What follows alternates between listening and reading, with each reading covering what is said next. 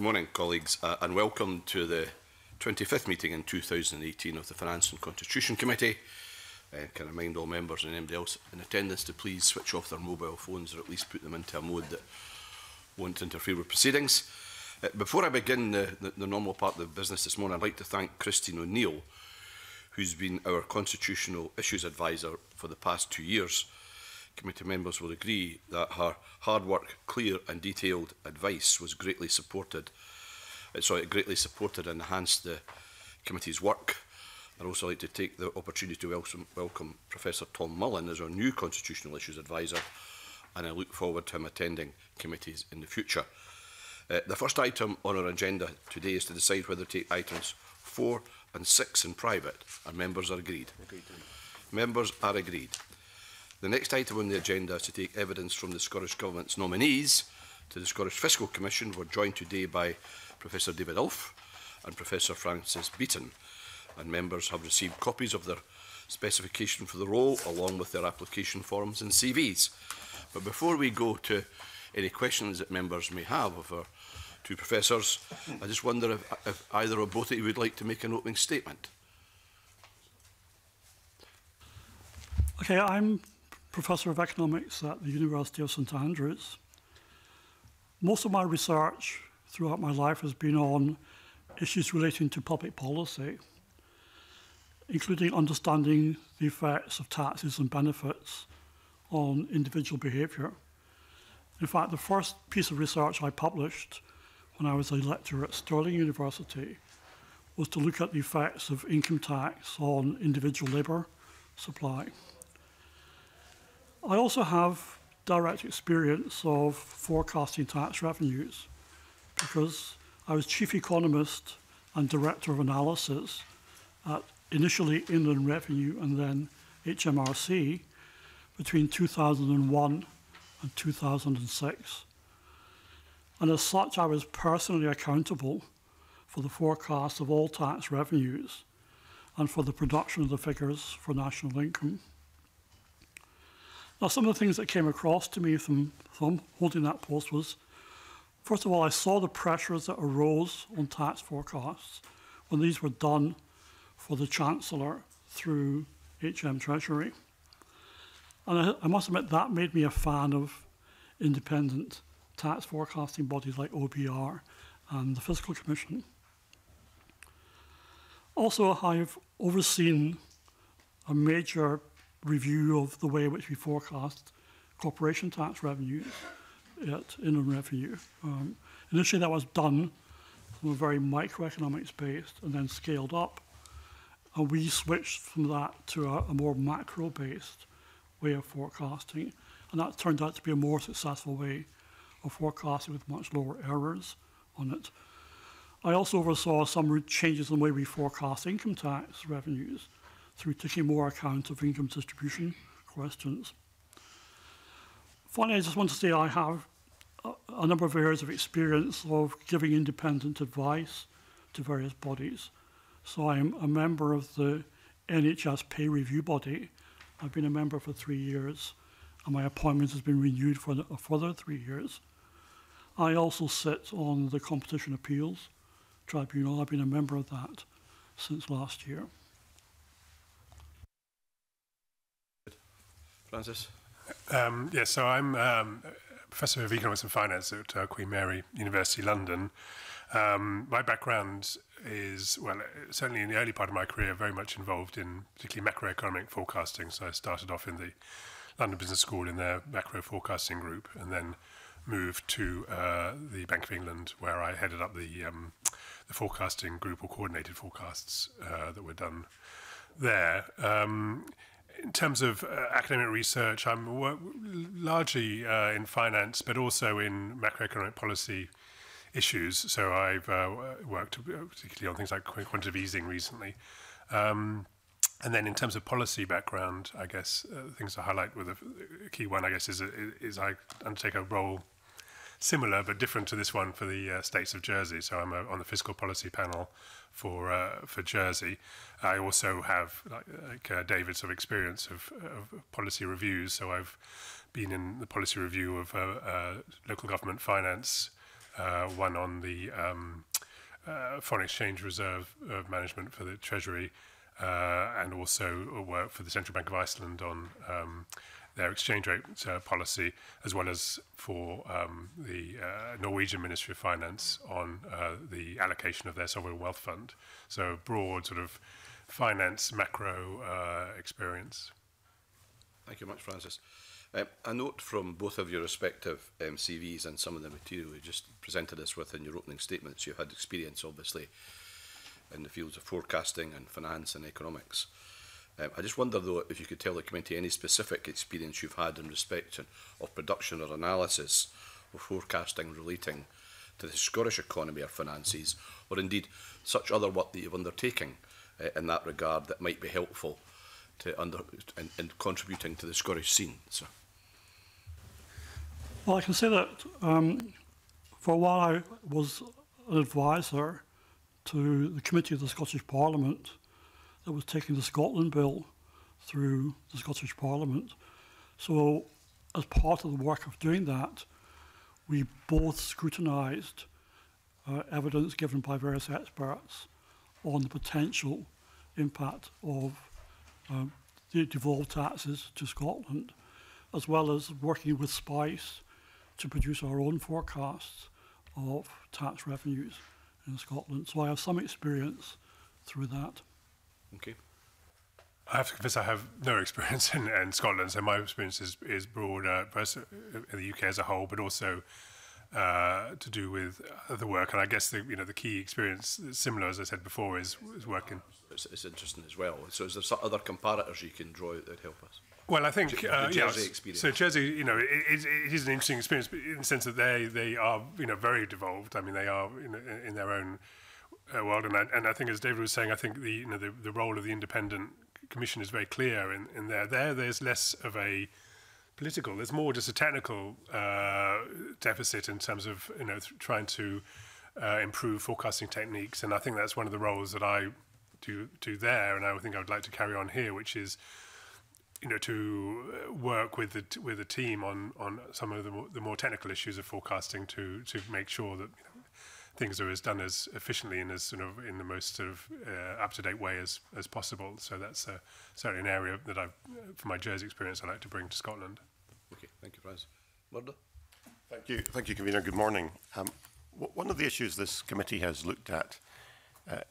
in recent weeks has been the divergence in forecast between the OBR and the Scottish Fiscal Commission, and this is, has quite serious implications in terms of the fiscal framework.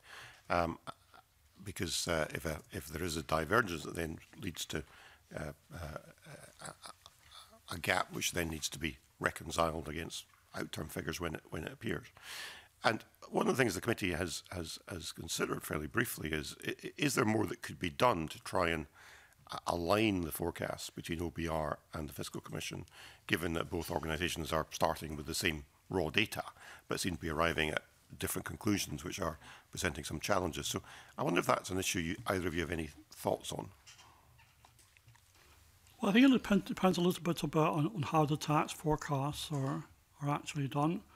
Um, if you're just trying to produce a forecast, which is a number, it's a point forecast, then there's always the problem that you can never forecast with absolute precision.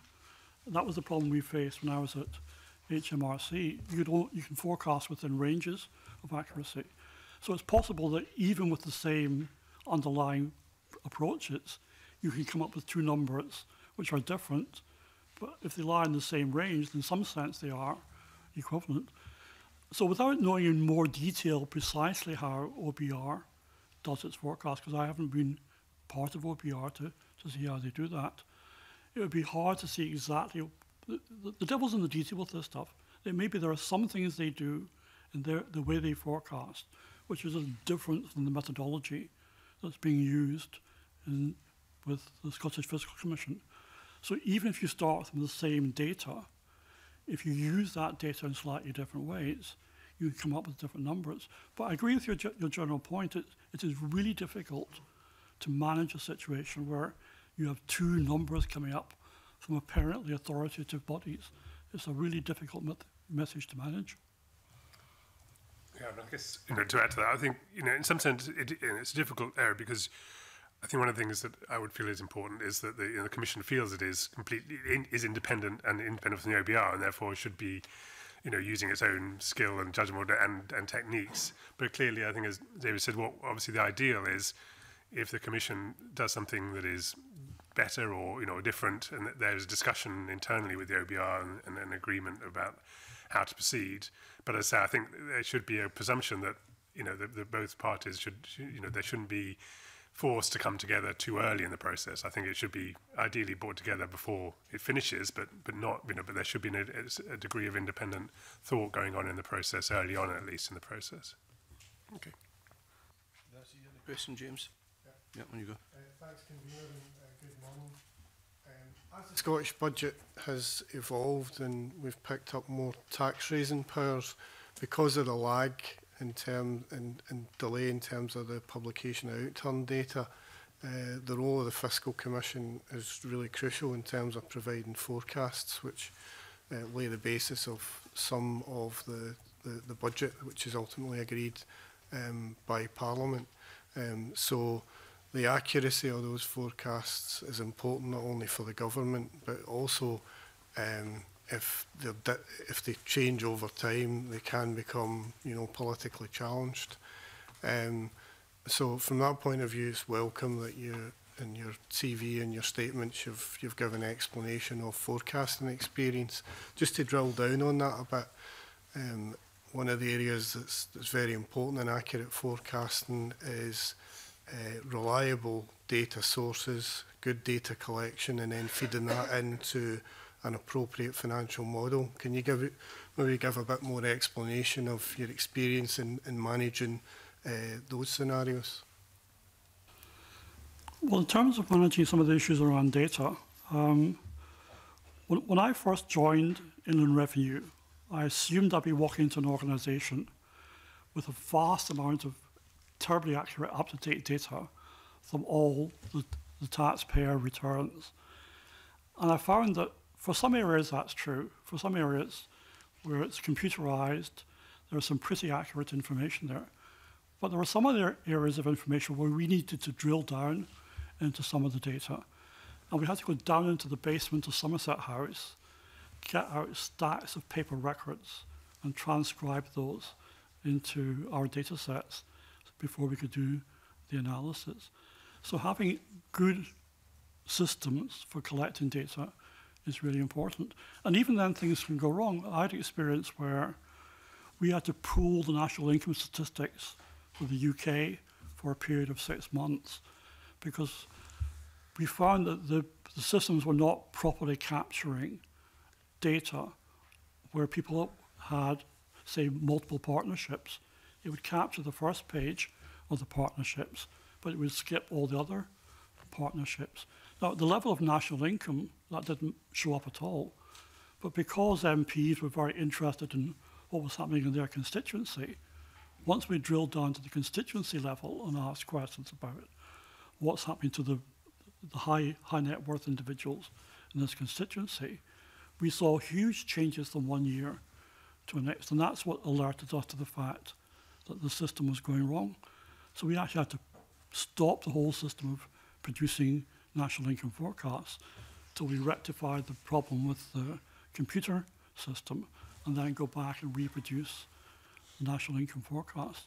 So these are, are tricky problems. Even with the most sophisticated uh, machinery around, you can find the data sometimes just gets lost in the, in the computer programs.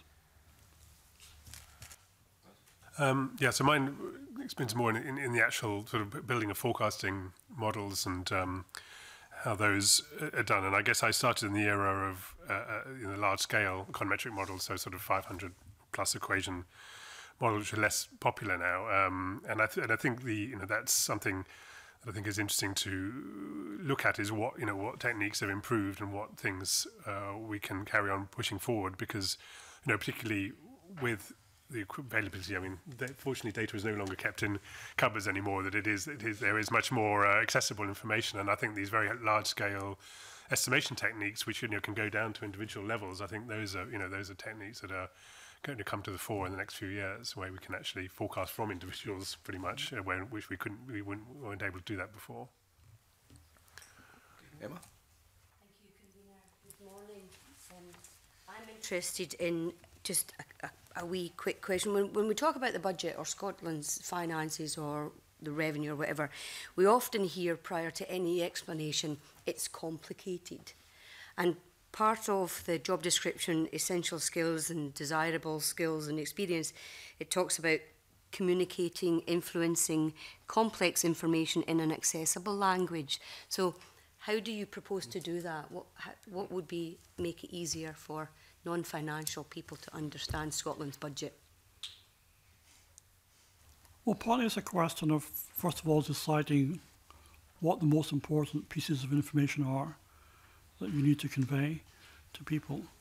Because often when you're doing some of these forecasting tasks, you have in the back of your mind masses and masses of detail. But a lot of that may not be centrally relevant to the main message you want to convey to others. So I think that the first important thing is to decide what that key message is and then work out what is the best way of getting that particular message across to somebody. Um, if, if, it helps, I could give you one example where I did that at Inland revenue, but it was not particularly in a forecasting context. But there was a proposal coming up for the way in which we treated offshore people's offshore bank accounts. And there's a proposal to send out a letter to taxpayers saying, if you come forward and confess you have these accounts, then instead of paying the usual penalty of 100%, we will lower the penalty to zero if you confess. Now, when I first saw that information, I went straight up to the person who was in charge of me and said, this isn't going to work because think about what you think the probability of detection would have to be to make it worthwhile confessing and giving up a 100% penalty. You would have to think you had a more than 50% chance of being caught. And at that point, the average probability of being caught by the Inland Revenue was 5%. So I convinced the, the head of Inland Revenue that this was not going to work just by a very simple arithmetical example. And we changed the whole way we did it and because of the way we changed it, we brought in billions of tax revenue. So it's just a question of deciding what was the message you had to get across, get it across with a simple example, and try to persuade somebody about your case. Okay. Um, yes, I mean, I guess it's what David said. I think, you know, one of the important things when delivering you know complex messages is you have to make it relevant to the person you're talking. I think people have a very high capacity actually for, for taking in something quite complicated if they think it's important to them personally. And uh, where where people sort of switch off quite often is where they think the person speaking is explaining something that they don't really need to understand or they not you know that they don't find personally useful. So I think there's a lot of making sure that the message is is are as relevant to the to as possible. The other thing I find works a lot is, is putting everything in context, you know, so an international context often helps a lot when explaining things. So, you know, um, you know, if you can say you, you know you're bottom of the list or you're top of the list, you know those those sort of things get people interested about the about the topic. Um, so I think putting things in in some sort of context helps. So that's a, very generally, but that's the sort of the, the techniques I would I generally use. Yeah. Okay. Okay. Thank you. Okay, um, Patrick. No, good morning. Um, it's a question principally for Professor Breeden, uh, relevant to your experience in the fiscal panel in the fiscal policy panel in Jersey. Uh, if I'm understanding it right, it has a slightly different remit than the, the Scottish Fiscal Commission in that it, it actually advises on tax and spending policy, whereas the Fiscal Commission here obviously does work that informs those policy decisions but doesn't directly comment on, on matters of policy. Is that, is that accurate? Um, sort of. I mean, I think you know clearly it's still down to the, the states, the parliament makes the, makes the decisions.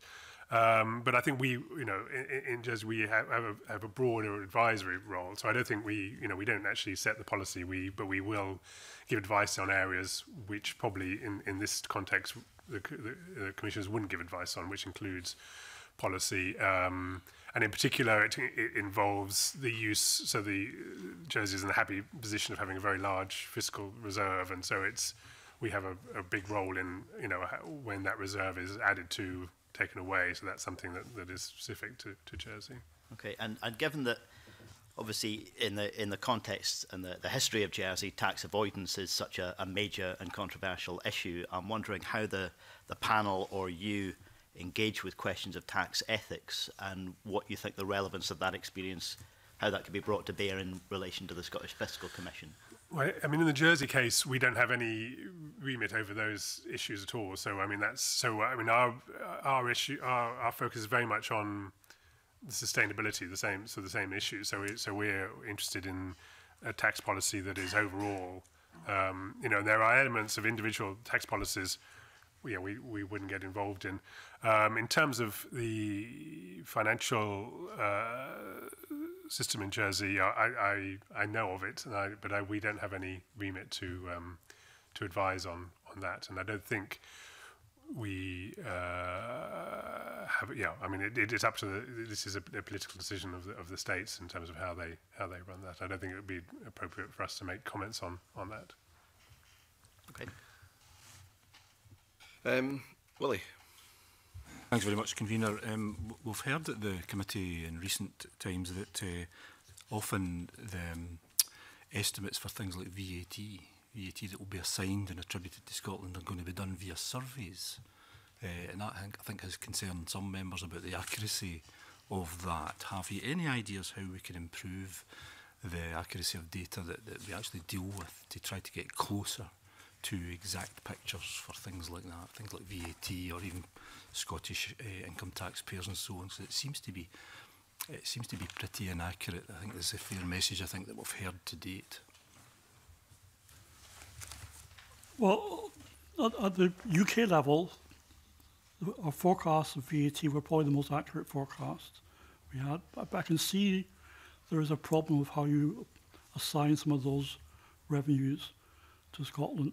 Um, most of the stuff on um, forecasting VAT comes from consumer expenditure surveys.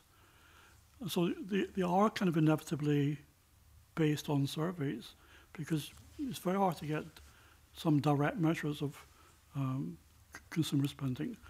Um, you obviously get it through the shops, but um, if you want to know how much people in Scotland spending on this, it's very hard to get that other than through a survey. Over time, we might find ways of trying to improve the accuracy of that once we've got a better understanding of the patterns that um, we may be able to find ways in which you could identify more accurately spending which is genuinely attributable to people in Scotland. Um, but I think inevitably at the moment we're going to be reduced to using surveys for this. Uh, and, and, good surveys can be quite accurate as well. I, I was, as an economist, I was initially quite sceptical of surveys, but I became more of a fan as I I saw the use of them. Yeah, I think I agree. I mean, surveys, it, it, it's all in the in the construction. I mean, I think they, it is amazing the power of statistics that, you know, a, a survey for a small number of people can be very informative as long as the survey is very carefully constructed. Um, but also, I would say, you know, as I said before, I think, you know, there is increasing ability to do something cleverer and fancier than that in the future. And I think that's one of the things that, you know, we would want to look at is you know what opportunities there are to use you know new data sources, new approaches to all these problems. I'm, I'm afraid sort of day one for me, so I can't say much more than those are you know those sort of ideas. I can I can't give any specifics at this stage. I haven't had any other member indicating a wish to ask any other questions. So can I thank uh, both of our professors for joining us today. Uh, the committee will now consider nominations later in our meeting in private and then we'll publish a report setting out our recommendations to Parliament. Can I thank both of our professors for their attendance before the committee this morning and I will briefly suspend the meeting to allow a changeover of witnesses.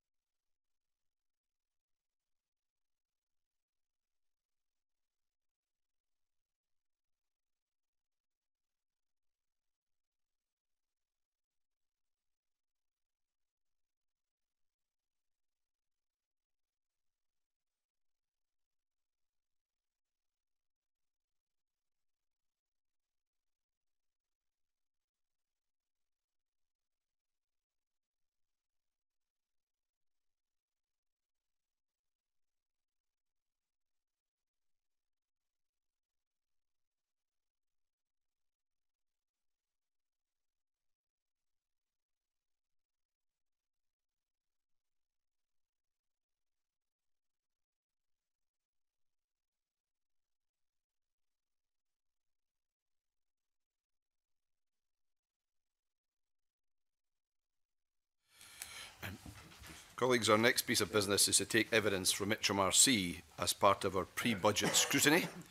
We're joined for this item by Jim Hara, who's the Director General of the Customer Strategy and Tax Design, and Jackie McGeechan, who's the Deputy Director of Income Tax Policy. I welcome both of our witnesses to the meeting this morning. And uh, members have received copies of the HMRC's annual report.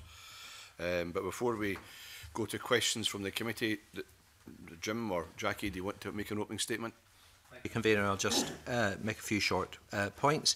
First of all, to confirm to the committee that uh, HMRC has provided the annual report on Scottish income tax to the Scottish Government as set out in our service level agreement and this has also been provided to the committee along with the relevant extract from the department's accounts uh, on Scottish income tax.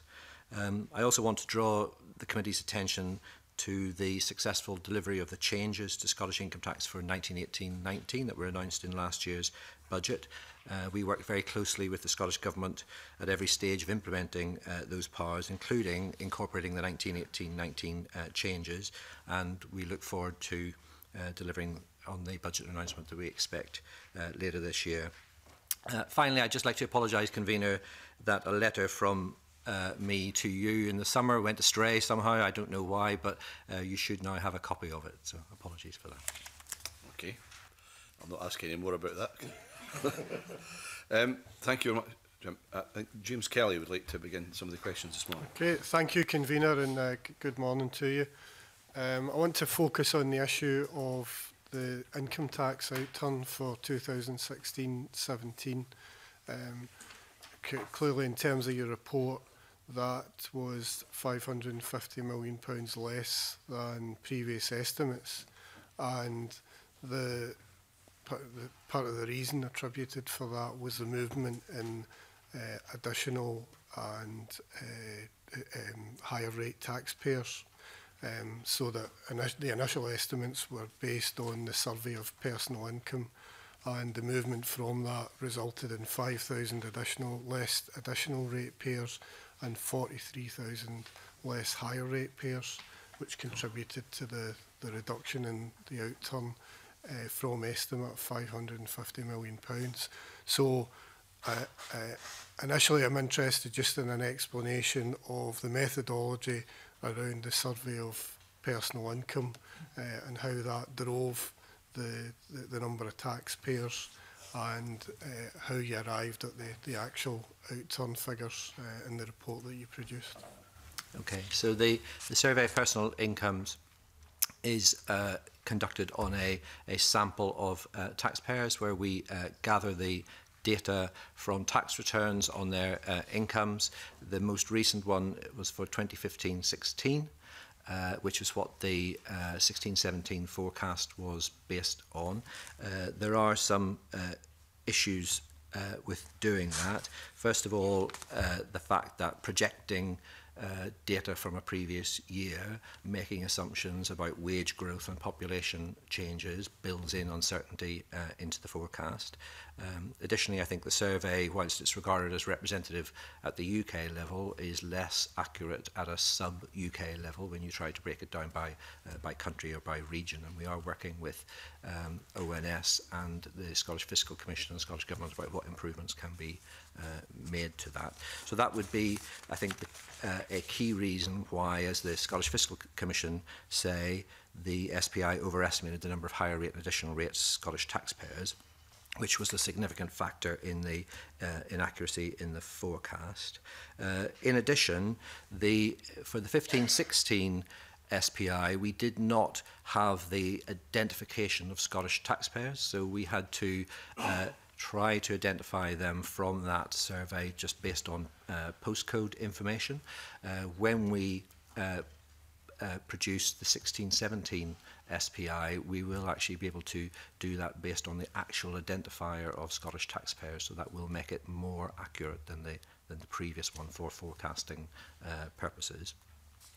Our Turning to the outturn, that is based on the actual uh, inf uh, information from earn and self-assessment returns for people who are identified on our database as Scottish uh, taxpayers, uh, and so therefore it is uh, an sort of much more accurate outturn and based on much more up-to-date uh, data, and it has been audited by the National Audit Office as part of their audit of our, our accounts and our trust statement. Okay, I cut just a couple of follow-on points from that. If we then take uh, 16, 17 as a kind of baseline position, because that's the, the first year where you've, we've captured all the, the Scottish taxpayers, how confident are you in the figures that you've captured that that is an accurate baseline? Yes, uh, you know, we are confident that that is an accurate uh, outturn, and as I say, it's been uh, audited uh, independently, um, and it is based on uh, you know, much more up-to-date information. There is a table in our accounts which shows some further adjustments that we've had to make for events that had not yet happened at the point when that outturn got locked down. So, for example, there will be some uh, people who pay late, and we've had to uh, look at historical data for payment rates in order to adjust uh, that for non-payment by late payers, for example. But those are really quite marginal uh, adjustments. And so that is, uh, I think, a, a, an accurate outturn and has been independently verified. What's the size of the Scottish sample for SPI and how, what role does that play uh, moving forward for future forecasts? Um, I don't have the information for the size of the, the Scottish input to the SPI. It is a, it's a, an ONS owned uh, piece of statistics, but I can certainly get, get you that information. Okay. Uh, I just follow up on that, James, because your service level agreement with the Scottish Government requires HMRC to provide the Scottish Government with sufficient, relevant, timely information and data for rates, rate setting and forecasting for the Scottish income tax. And Jim, you said already to uh, James in your answer, there are issues about that Scottish data not uh, in, uh, in relation to the, the, the, the UK data. Um, and you say in section two of your annual report that although the SPI is considered to be representative at the UK taxpayer population, it's less reliable at sub UK level. Now that gives me some concerns, as you might imagine, given that our process is very much based on forecasting. So given the significance of income tax forecasting to the size of the Scottish budget, is it reasonable, do you think, that the, that the data you're providing to support the process um, which your own report describes as less reliable than the sub UK level because because Murdo, I think I think we're all under a bit an appreh a slight misapprehension that the data being looked at both for the Scottish circumstances and the UK circumstances were the same, but it's obviously not the same. It's the same information base, but it's not the same level of data yes, you're right. I mean, it is exactly the same uh, data set, uh, and the Scottish Government and the Scottish Fiscal Commission uh, get the, what is uh, materially identical data to what the OBR get uh, for the UK from, from that set. But you're right that when you drill down into the SPI to look at uh, Scotland only, there, you know, the, there, it is less reliable than it is if you look at a whole UK picture. That is the data that we had from the 15-16 uh, uh, survey. Uh, you know, we are looking with the Scottish Fiscal Commission and the Scottish Government and the Office for National Statistics of, for what improvements uh, could be made. But I think the key thing is uh, to get that uh, more up-to-date uh, data and uh, going forward to have data that's based on actual taxpayer, Scottish taxpayer identification are two key steps, I think. Okay, but given that there is potential significance for any forecast error for the Scottish budget, um, how, how pressing is the work that's going on for the Scottish Fiscal Commission to have increased access to the data um, on Scottish income tax at the same level as, as it's available at the UK? For example, why have the SFE only got access to the public user's tape data for the survey of personal incomes? In terms of access to data, the uh, Scottish Fiscal Commission has got exactly the same access to Scotland level data as the OBR has to UK data, so there's no uh, question of uh, reduced access. The only slight exception to that is at the very top of the income ranges. We've had to do a bit more aggregation uh, at Scotland to avoid identifying individuals. Uh, but but that is sort of immaterial in terms of the level of data access. It's actually the the sort of quality of the underlying data in the survey that is the issue, rather than a restriction of access. Okay, uh, and uh, okay, sorry to labour this point, but you can just tell us a bit more about what what's going on to improve the quality of that data then that's available, just so we can understand a bit more clearly. Yes. Yeah, so the um, so the statisticians are working with uh, Scottish Fiscal Commission and Scottish Government on how the, the base of the survey uh, could be improved, uh, both to provide more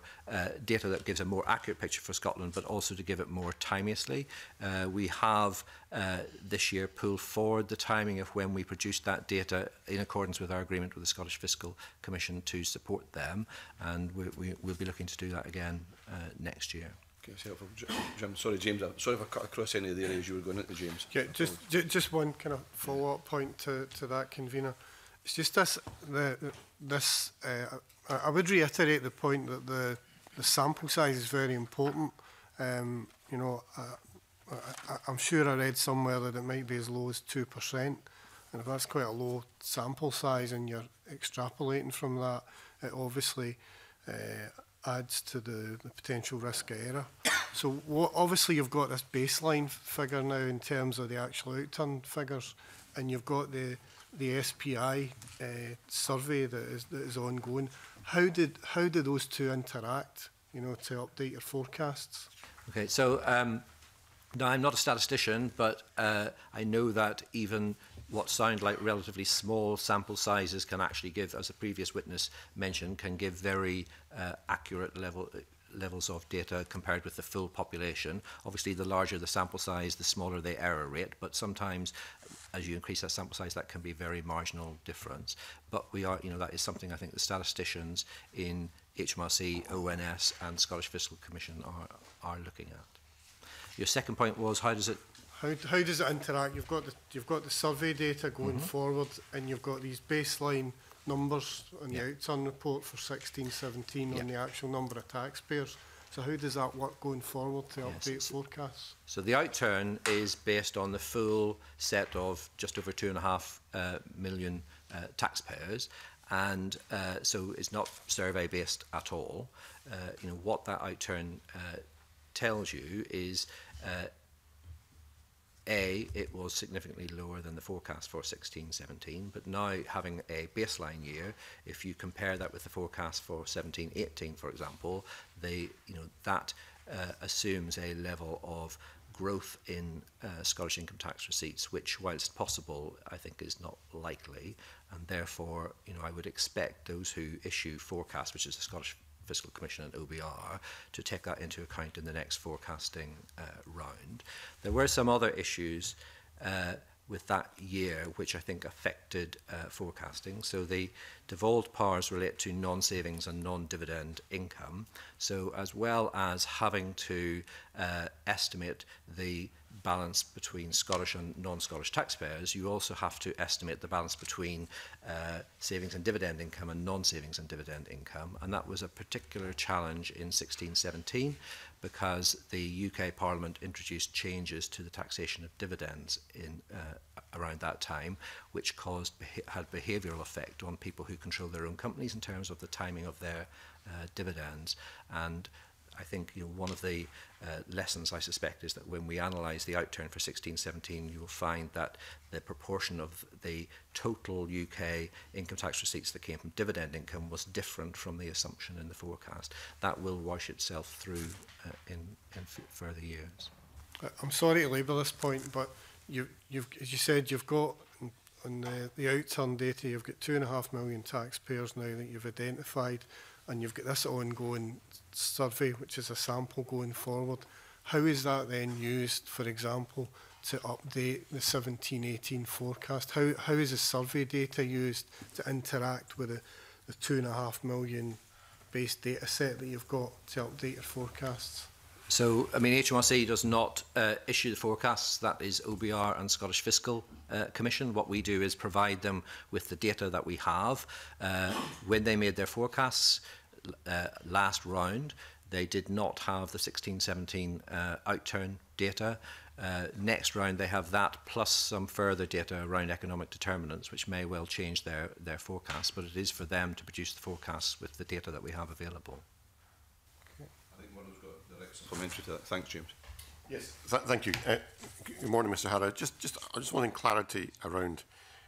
the issue of the number of Scottish taxpayers in Uh, table 2 on section 2 of your annual report, you have a figure for all Scottish taxpayers 2.528 million.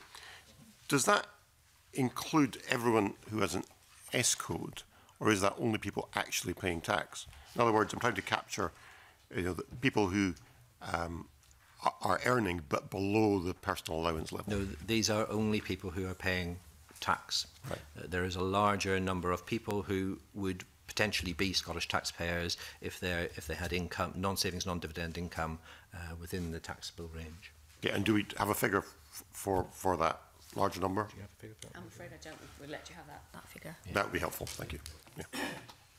Well, am I right? You had a, a question in this area as well. Am I right? Yeah, uh, Bruce. Many thanks. Uh, good morning, Jim, Jackie. Uh, I wonder if I could refer you to Table One in your report, uh, and that uh, shows the, the outturn figures. And I'm interested in the, the breakdown between the Scottish figure and the rest of the UK figure, Jim. Mm-hmm. If you look at the self-assessed uh, tally, total there at 79.76 for the RUK and 4.36 for Scotland, that that represents about 5.4% of the share for Scotland, which seems a wee bit on the low side to me. And if you look at the next line, the PAYE, columns, the Scottish share of our UK is about 9%. I was just wondering if there's a wee bit of narrative behind that and why, why would the Scottish share of that, and these are actual figures, remember, these aren't forecasts, why would the Scottish share be so low in my view compared to what perhaps the population share might be, which would be around 9%? I mean, that, that will uh, be because of just differences in the profile of Scottish and rest of the UK taxpayers in terms of their sources and levels of income. Uh, who is in self-assessment is not a, uh, a sort of it's not a legislative test that puts you into self-assessment. You are in self-assessment if, if HMRC feel that that is necessary in order to administer your tax affairs. Uh, and I think you know it will be down to the profile of uh, taxpayers in Scotland compared with taxpayers in the rest of the UK, how many of them are in self self-assessment. So the, that balance will be different really for partly because of the uh, profiles of employment versus uh, self-employment and other income, but also income levels because um, uh, you know that is one of the determinants about whether we feel we need to put someone in self-assessment. You mm. know, in your footnote there, just below the table, it also says that the first line actually includes an element of PAYE, so that first line figure may in fact be even smaller if that were not. Yes, so uh, I mean, for example, I'm an employee of uh, HMRC, but I'm also in self-assessment, so when I complete my self-assessment return, I put my employment income onto my return. So, uh, you know, in this table, that would have come out in the in the SA figure rather than in the pay-as-you-earn figure. So the pay-as-you-earn figure is really for people who are uh, who who are only in pay-as-you-earn and don't have you know don't have to complete a self-assessment return. But if you do have to complete a self-assessment return, then your employment income and the tax on it is reflected in the SA line. Mm -hmm. I mean, you're happy that it's completely accurate because it seems such a quite a discrepancy between the two, you know, between I mean, Scotland uh, and our UK. If you like, quite I mean, we can difference. we can go away and get you some proper analysis of what we think. I mean, I've described what I believe the reasons yeah. for that are. Uh, we'll see if we can actually get some analysis to back up what I've what I've told you. But um, You know, these are two ways of administering tax as opposed to uh, two different sets of tax liabilities. And you know, as you've mentioned, for example, people who are in pay as you earn are also in self-assessment, so they're they're in a different line. But we can we can try and get you some more analysis that explains that. Thank you. Thanks a lot. Thank you. Alex, I think you were interested in issues of consolidation. Yeah. Uh, um, yeah, st still on the, the theme of the reconciliation and the, the th around the three-year time lag uh, and the issues with it. I just wonder what your views are in, in terms of having an interim uh, or what, what can be done to have some sort of interim reconciliation. Um, I see in your report that you, you, you mentioned that there's a intention for HMRC to publish uh, um, real-time figures, which would obviously uh, in, uh, improve uh, that ability. Um, that's, that's the first question. But the second bit is around, um, it, you know, it talks about th this data. It, can just clarify, is this just PAYE data rather than self-assessment data? Um, in which case, would that be then more accurate for Scotland because we have a higher percentage of PAYE uh, uh, taxpayers? And lastly, uh, um, for the self-assessment bit, in, in, is there any uh, possibility of publishing that? Yeah, and I appreciate that the, the profile of that payment during the year will, will vary, which is maybe why it's not done. But you, you, you said, you mentioned that you look at the historical data for payment rates around what's paid late to give you a profile is there a possibility of actually that being improved on so that you can have uh, interim data around self-assessment? Yes, so a couple of years ago we uh, introduced a new IT system uh, and method of uh, for earn and method of collecting uh, payroll data, which means that, called real-time information, which means that for earn, we now have uh, in-year data, which we, which we gather from employers, which we did not previously have. Uh, that is uh, uh, supplied by employers every time they run their payroll. So it's generally monthly, but it can actually be more frequently uh, than that. And we have shared that data with uh, the Scottish Fiscal Commission and the Scottish Government uh, to uh, support the in year uh, forecasting. There are a couple of uh, issues with that. First of all, uh, as you say, it doesn't include self-employed income, which is about 16-17% of uh, the, uh, the income that you're interested in. Also, within our Peshwaran codes, we do sometimes adjust for things that are not relevant to the Scottish income tax. So, for example, if someone has savings income, we may adjust their Peshwaran uh, code to collect that.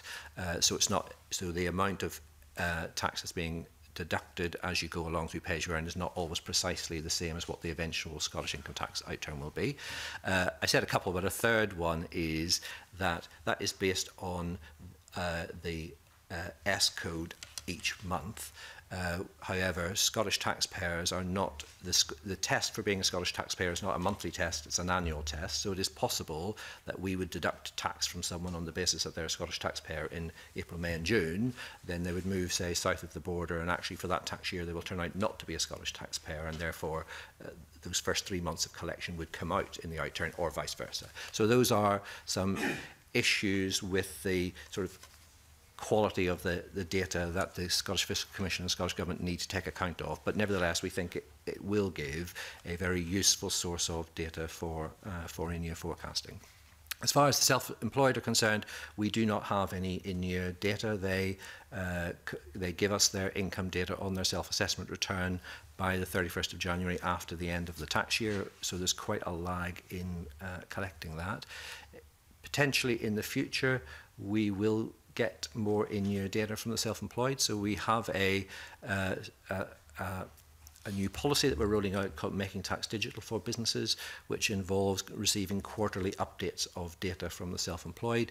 Uh, that launches next April for VAT, but there's already a pilot out there that enables people to do that for income tax purposes as well. So in the future, it may well be that we will get in your data on the self-employed, but currently we do not have any. So, so just to summarise that, would you say that you're, you said you, um, you, you can get basically 80% accuracy in real time? Yes, so the, the, the real-time information data that we give uh, based on pay as you earn will cover about 83 to 84% of the total, the total income that's within the Scottish income tax, but subject to those, uh, those issues with the data that I mentioned. Tom, I think you were interested in this area as well, am I right? Yeah, I think largely covered, but if, if your permission, can be just a very brief supplementary to some of the points that uh, Mr Kelly was raising.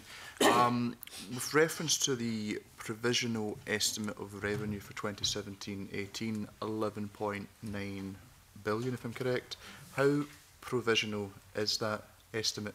Uh, I mean, that, that I think was the uh, OBR uh, forecast in March. Uh, we did our own uh, forecast that goes into our trust statement uses a little bit more up-to-date data because it was done slightly later in the year, but not materially uh, different.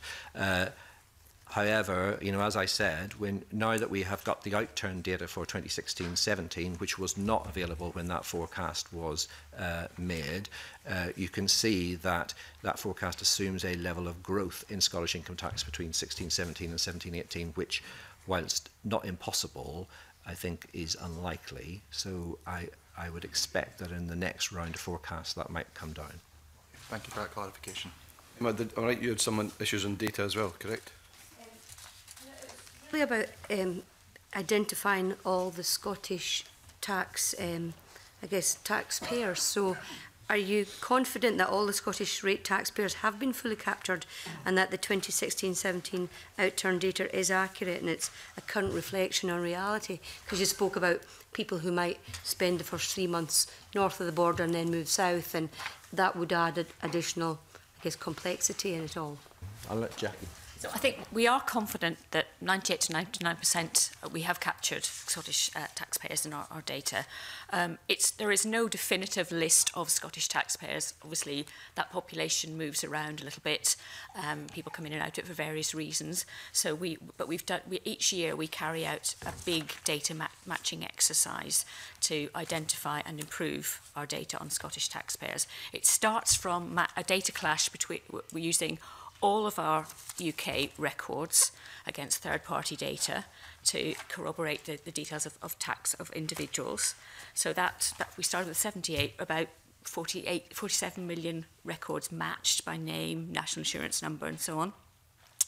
And in that group, only around about 5,000 were identified as having a third party Scottish address um, and with our records a UK address and then around 4,000 had a third party UK address and our record showed a Scottish address. So pretty good, good, good matching record. And we wrote then to all of those where there was some doubt over which address was correct. We had quite a good return with response to those letters. So around about a third, more than a third of people responded, which is, is a high rate for, for something that they don't really feel they need to do. And in most cases, they confirmed that the HMRC address was correct or they told us what the correct address was and we updated our records. Then we looked at the unmatched records and the Scottish unmatched records, something like 1.1 million.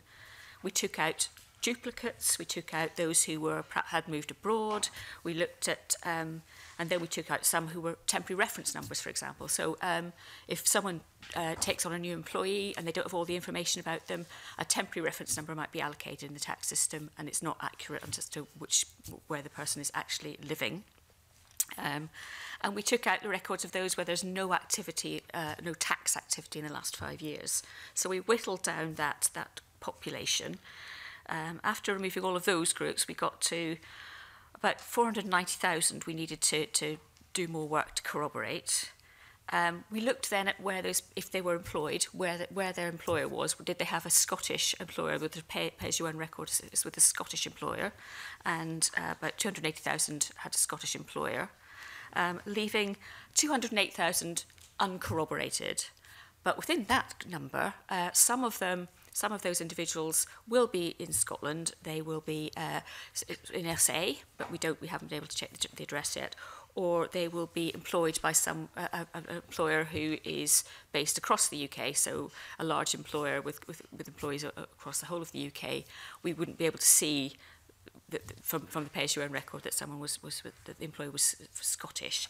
So essentially, we get down to something over 96% corroboration, firm corroboration, plus an assumption that within the remaining small number, some of those will also be Scottish, so 98 to 99%. And then we repeat this exercise every year, keep our, uh, and then the, the other part of this, it's very important, we you want to touch on it later, is, is the, the communication around asking people to tell us if they, if they do move. Um, most people do without any prompting, but we just keep reinforcing that message that they need to tell us if they've moved address. So it's a long process. Sorry for all the detail, but we, we do a lot of work to, to check the addresses. Okay, thank you. The detail helps, actually. Thank you. Detail that work's going on because there was obviously some questions raised at the beginning of this process. So, um, I guess that leads into your area, Murdon. Yes, th th thank you. Follows on um, quite nicely. I was going to ask about, about some of the compliance issues, and you address this also in your annual uh, report um, in relation to potential behaviour changes around uh, tax changes. Uh, uh, that are made. Um, and you talk about potential um, cross-border migration, which in, in, in light of the, the level of tax changes, probably is unlikely, but what maybe is more likely is people, um, high net worth individuals shifting income uh, towards dividend payments. Is that something that you're keeping a close eye on and how you monitoring that aspect? Do you want me to pick up? Um, so, yes, yeah, so clearly uh, where there's a differential in uh, tax rates that creates incentives. Uh, the uh, risk that people will change their behavior in response to those uh, incentives really depends on the on the scale of the differential, uh, on the scale of effort involved in uh, changing their behavior and in what the compliance rules around that are. And as you heard from a previous uh, witness, and what the chances are of being caught uh, if you if you break the rules. Um, in the case of uh, Scottish income tax, if you assume that Scottish income tax is higher than uh, the UK, which is the case for higher uh, earners, then the incentives are that you disguise your identity as a Scottish taxpayer and you pretend not to be a Scottish taxpayer. And Jackie's described the, the work that we do to uh, validate that, or that you uh, avoid or evade the tax on your income by either underdeclaring it or, as you say, changing its nature into a non-savings uh, from non-savings non-dividend. There are when it comes to incorporation and changing your income into dividends, some people have got the scope to do that, and there are limited rules that prevent you from doing it. Uh, in the case of people who would, uh, who, whose working relationship is employment, there are quite strong rules that prevent them from shifting that employment income into uh, incorporation and dividend income. But for people who are self-employed, there are no rules to stop them incorporating their business and then uh, drawing out income by way of dividend.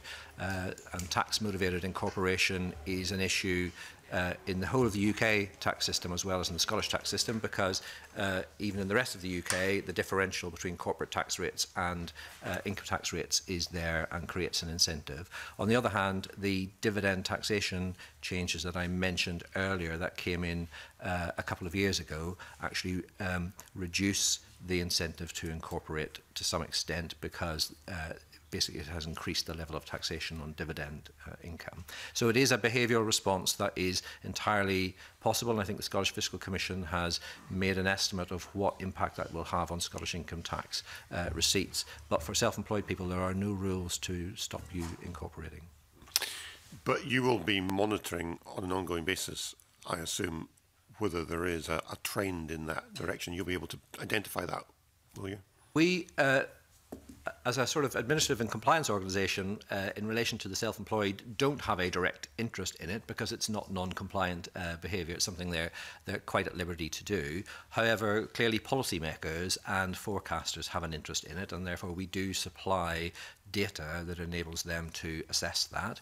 A couple of years ago, the OBR did quite a bit of work on the level of tax motivated incorporation uh, across the UK and its impact on receipts. And then I know that in the last forecast, uh, the Scottish Fiscal Com uh, Commission made its own estimate of the impact on Scottish income tax receipts, which is, I think, between 5 and 30 million pounds a year. Okay, so you, you, you collect the data, but ultimately it will be the Fiscal Commission who will express a view Yes, and on, and, on this, yeah. and policymakers who, who keep yeah. an eye on it as well. So, I mean, the dividend taxation changes that came in a couple of years ago were in part uh, uh, a recognition of the fact that as corporation tax rates come down, the incentive to incorporate grows, and that counteracted that uh, to some extent. Okay, thank you. That's, that's very useful uh, because obviously, if there are some suggestions there might be a reduction in corporation tax as part of the, and I'm making assumptions here and based on what I see in the media, the Chancellor may reduce corporation tax in his budget. And obviously that would potentially have a significant impact or, or some impact on the amount of income tax then paid in Scotland, which obviously supports the public services in Scotland. How soon can you pick up from your informations that you have about what impact that's having? Because obviously you might expect we would be concerned if the, the amount of income tax taken in Scotland was reduced as a result of a, a lever for, for legitimate reasons being used at another place. So, uh, first of all, the, the UK government has actually set out its roadmap for corporation tax rates over the next couple of years, uh, going down to 17%, and that has already been factored into the forecasts.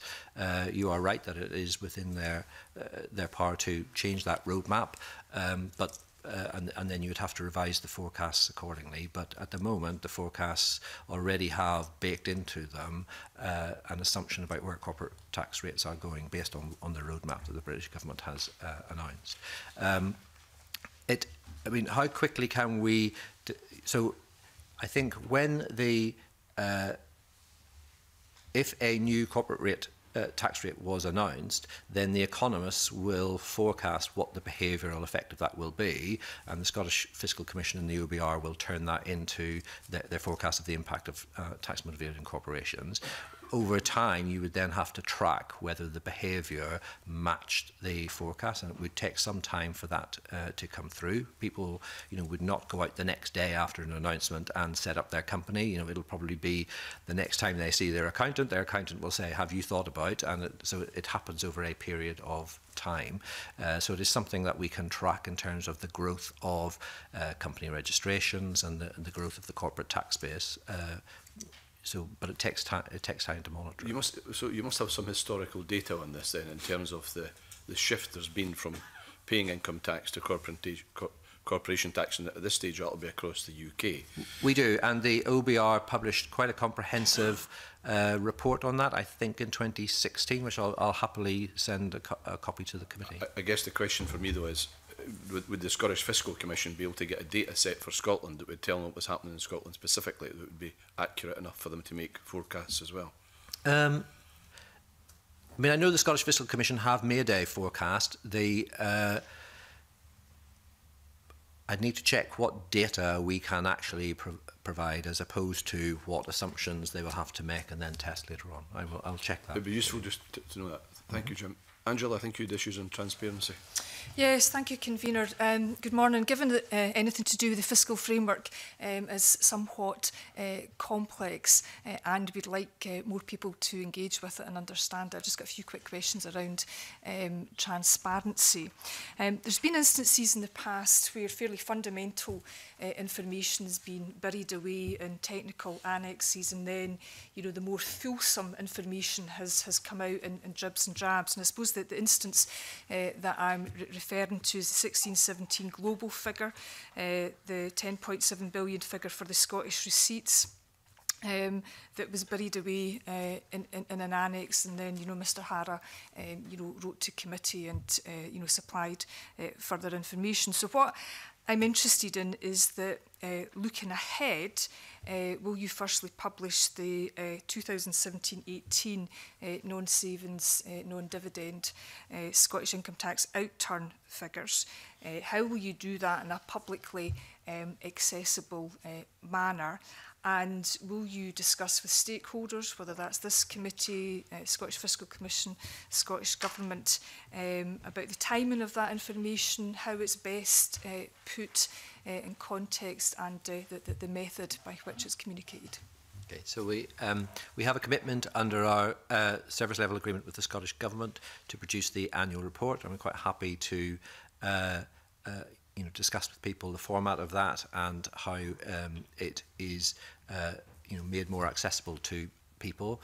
Uh, the purpose of that report, I think, was to make sure that the extracts, which are, uh, you know, in there in quite a voluminous set of HMRC accounts and trust statement, actually are taken out and and can be, uh, you know, made more accessible. But I'm quite happy to look at what uh, what more work can be done on that. In terms of timing, we. Um, you know, this is part of our overall accounts and uh, trust statement, uh, which uh, gets published around June uh, time each year, which is as quickly as we can possibly make it after the end, the 31st March end of the financial year. We have pulled that forward uh, in recent years, and we continue to try and do it as soon as we can. But actually, you know, given the scale of what we have to produce, I think there's there's limited scope to bring it in much earlier than it currently is.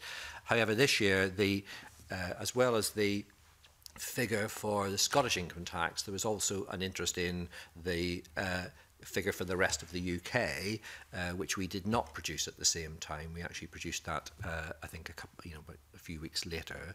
And certainly for next year, we will be aiming to produce that at exactly the, at the same time, so there will be a comprehensive uh, set. We are also working with the Scottish Fiscal Commission on uh, what further, you know, official statistics uh, we can publish around that time on uh, Scottish income tax. So, for example, that RTI data that I mentioned earlier that we provide monthly to the Scottish Government and uh, the Scottish Fiscal Commission, I know there's been a, a a fiscal framework recommendation that that be published every month, and that would be our intention. Uh, we are just working through some of those data issues I described that are not relevant to Scottish income tax, but make that uh, data um, sort of less than perfect to make sure that when we do publish it monthly that we're able to describe that in an effective way. Okay, thank you for that fulsome answer. Thanks, Convener. Okay, can I thank our witnesses very much for their contribution this morning? It was very useful information you've provided, Jim, Jim and Jackie. I'm very grateful to you, and I now suspend this meeting till a changeover of witnesses.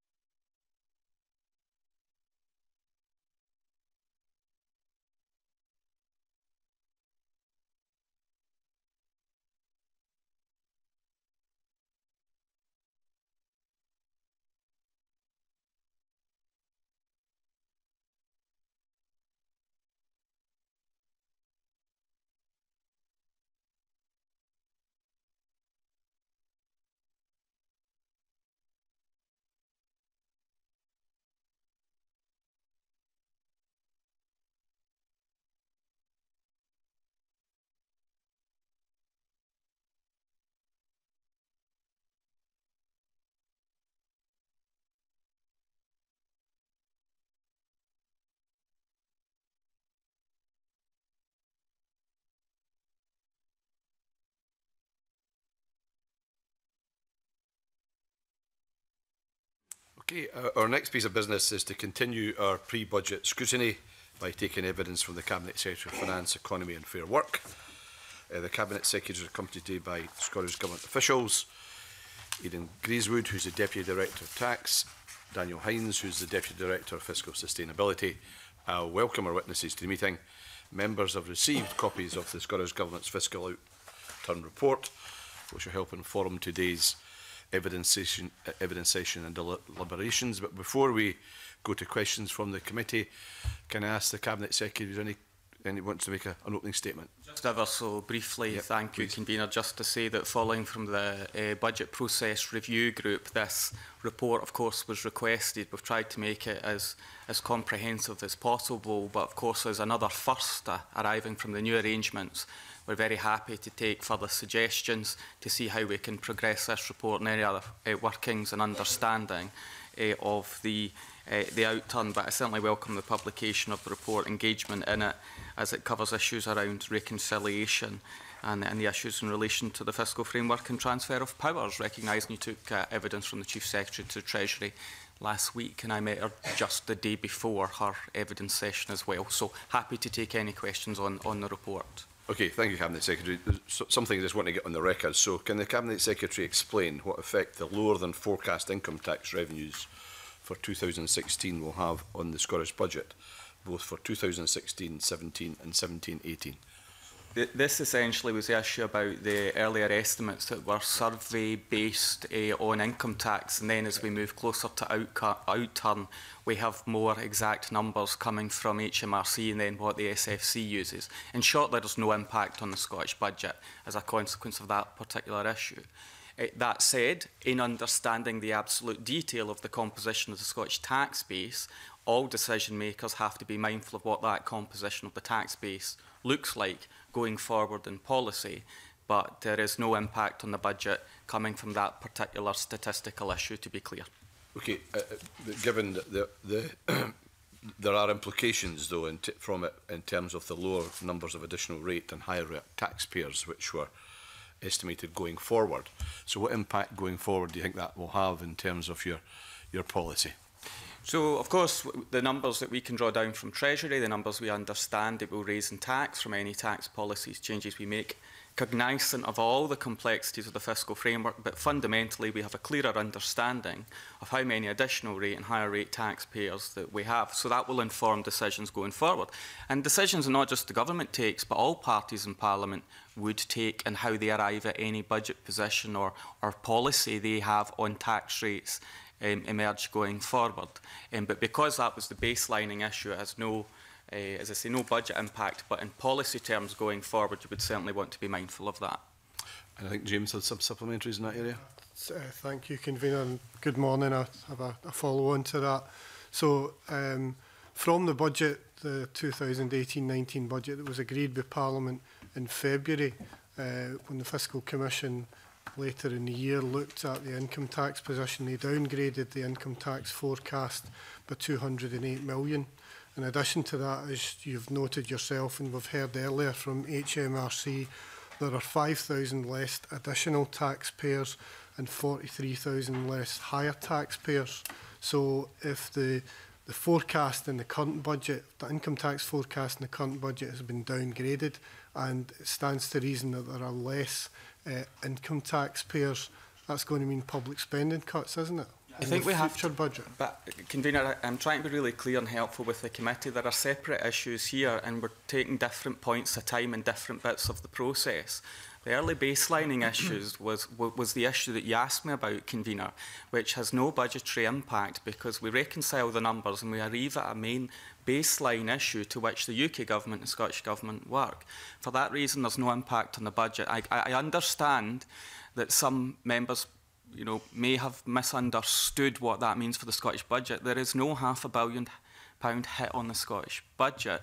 As the Fiscal Commission has more data, more outturn figures, clearly the numbers that we're working with um, are, are, are advanced. But that baseline point has been addressed. Can, can I come to the more recent, though, because there is a fair point in forecasts. The, the closer we get to the fiscal events, the better, because then we arrive at actual outturn numbers and clearer estimates. Even the Fiscal Commission's most latest forecast for the medium-term financial strategy, so even that most recent SFC um, forecast is also subject to change. For example, the GDP stats are different to what the Fiscal Commission had estimated in our favour, in Scotland's favour. So, what that will mean, taking in isolation, already the forecast that they have around what might be raised around income tax, just taking the GDP element in isolation, will enhance the position as reported by the Fiscal Commission. So, I respect it as complex and it's dynamic. Um, but when we get to the budget, the Scottish budget will have the numbers from OBR and we'll have the latest forecast from the SFC and it'll be informed by, by more up-to-date um, data. So I think all of that's helpful. Again, back to your original point, convener, we now know that we have fewer additional rate and higher rate taxpayers than was thought in earlier years. That has all been addressed in the baselining issue, but policymakers should think about that in determining their propositions going forward into future years. I, I that's about as clear, I think, as I can be on, on that matter. Surely, therefore, if you have less uh, taxpayers going forward and therefore less uh, revenue coming through, particularly at these higher rates, then when you set your budget for 1920, you're going to have less in that tax envelope, and that's going to feed through to cuts in public services. No convener. That's the policy. That's, well, well, that's well, the policy well, well, outcome. Well, okay. If you if you maintain your tax at the level that it's at currently, Convener, you know, I, I'm trying to be as helpful as possible, but if we understand the fullest possible workings of the fiscal framework, the block grant adjustment and all the elements that go along with it, it isn't actually as simple as that. What we do is relative to what the UK government's doing in their tax policy. And I'm trying to describe where we are in the composition of the tax base. Now, if I had adopted, for talking sake, convener, to help Mr Kelly, the proposition that was put to me by the Labour Party at last year's budget, yes, I would have been more heavily relying upon additional rate and higher rate taxpayers. So, yes, the composition of the tax base is really important in arriving at the tax decisions you take, but it's driven by the Scottish Fiscal Commission, of course, forecast and understanding of our policy. So I understand the point. If we have fewer taxpayers in a particular category, uh, marginal rate attacks, then that has implications for the outcome. But the historic issues have been redressed because it was about the baselining to which um, we were all um, working. And of course, the starting position of the Scottish budget is the block grant. All the other adjust adjustments then come after that. So, I mean, I hope that's more helpful. Final question, convener. What, what's your view then, and what's going to be your approach to, to tax going forward? Bearing in mind these challenges, some of which you've outlined, what's your view on tax policy? Are you are you minded to uh, keep it at the same level, or are you looking at any changes? I know this is pre-budget scrutiny, but that's somewhat bold, convener, to ask me what my tax plans are in advance of the Chancellor outlining his tax plans. It's a very fair question, and it's a nice attempt for, for me to um, reveal the, the tax position going forward. That really would be bringing pre-budget scrutiny to a whole new um, level, uh, convener. I, I think the committee is very well cited on the process that I have to undertake, uh, the position of the, the UK budget. That's a huge fiscal event. That, that impacts on the, uh, the block grant, uh, the block grant adjustment as, as understood by the OBR uh, SFC forecast, and then I'll work my way through all of that before I present to Parliament what our tax plans are. Uh, just again for the for the record, Cabinet Secretary, the baseline's now been established. So we just confirm then it's from here on it's the relative rates of growth rates uh, from the baseline that will be the important issue, not the information that's already gone past. That, and that's correct. Stuff. Yes. So, so that's what actually matters. Yeah, it's the divergence that's, that's the issue, yes, not the starting baseline point, yeah. Adam. Uh, thank you, Kamina, and thank you for those answers, Cabinet Secretary, which I think were, were, were very clear. I want to move um, on to the issue of borrowing, which is dealt with in Chapter 5 of your report, and I hope your answers will be just as clear um, here as they were um, uh, earlier um, this morning. You, you say in your report that in total the Scottish Government, I'm talking about capital borrowing in particular, Cabinet Secretary, in total the Scottish Government will have accumulated 1.459 million of capital debt by the end of 2018-19, which you say is, and I quote, well within your overall £3 billion pound limit. And that's true. It's also true, uh, as you report later on in the chapter, that the Scottish Fiscal Commission has judged these levels of borrowing as being compliant within the terms set out in the fiscal framework and also as reasonable. Um, but isn't it um, also the case, uh, Cabinet Secretary, that um, if you continue with that level of capital borrowing for the next few years, and you haven't said, of course, what, whether you propose to do that or not, that if you continue to draw down your maximum annual allocation each year, and continue and also continue to borrow on the basis of relatively long terms, such as 25 years, that you will likely run up against your borrowing limit by 2022. That analysis is correct. And is that what the Scottish Government proposes to do? That is not my proposition.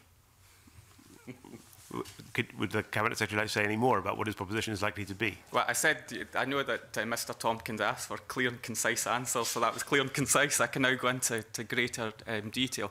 I think th I think that. Uh, uh, proposition, if I do draw down at that level, then, then that's right. Of course, we hit the um, cap.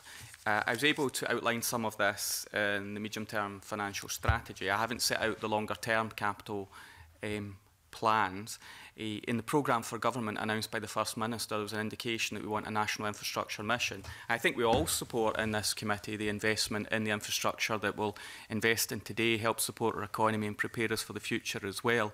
So I think the Parliament, uh, as well as the government, will have choices to make about how we invest in our infrastructure and how we fund that as well. So I think it can be a mix of investment in our infrastructure that can achieve our infrastructure needs as a country. But of course, we use our capital borrowing powers as well as our resource borrowing powers, but our capital borrowing powers in relation to this question um, responsibly.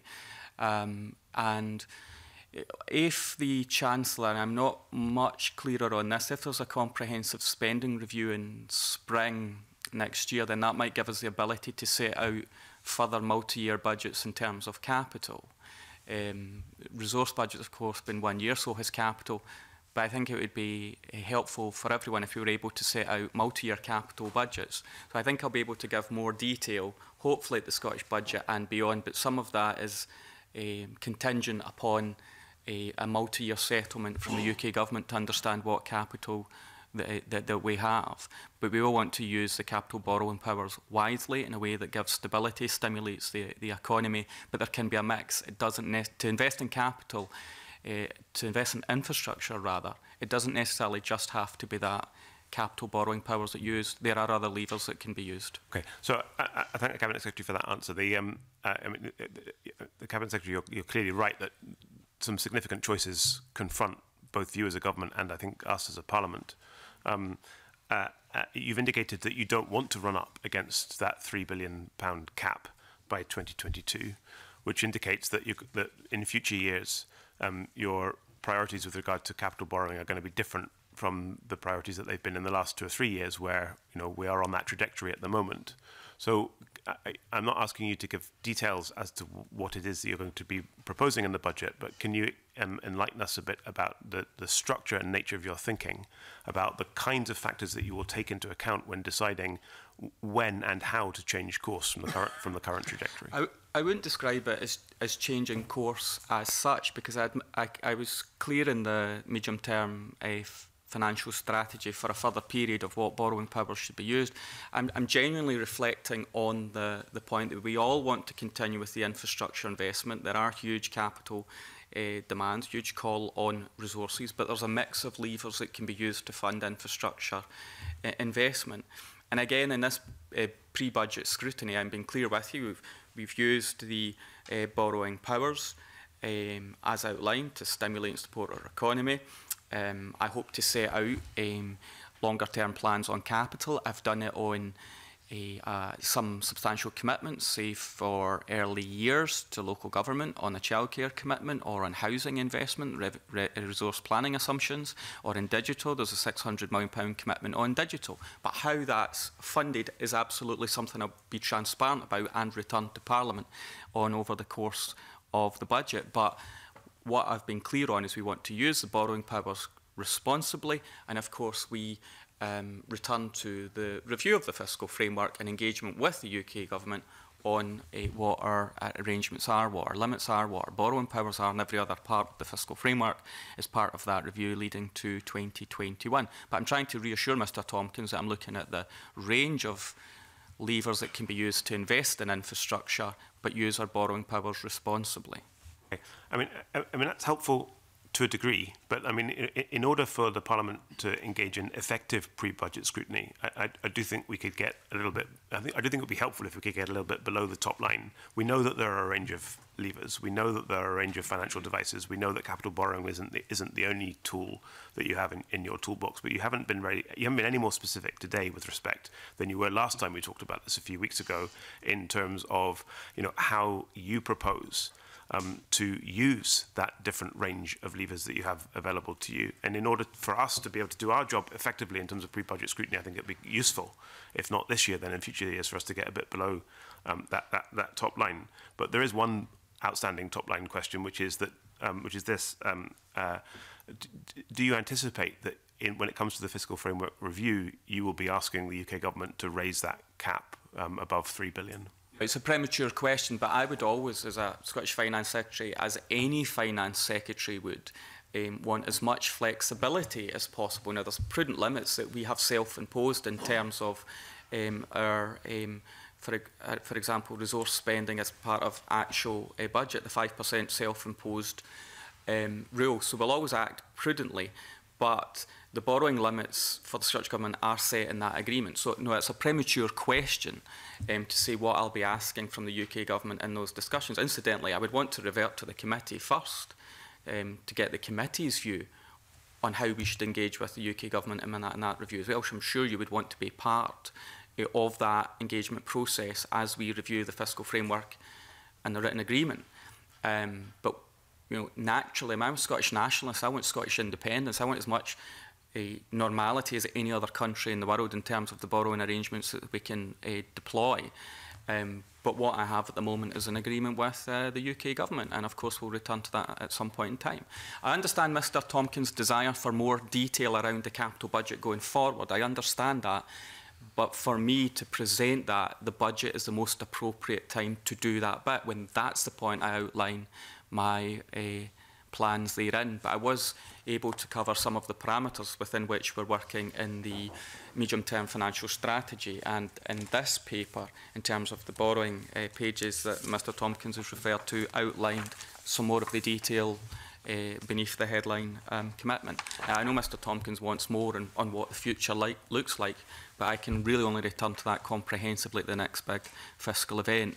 The major shift since the last time I was before committee was the National Infrastructure Mission, where we outlined that commitment to lever in more finance to take our infrastructure investment to internationally competitive levels.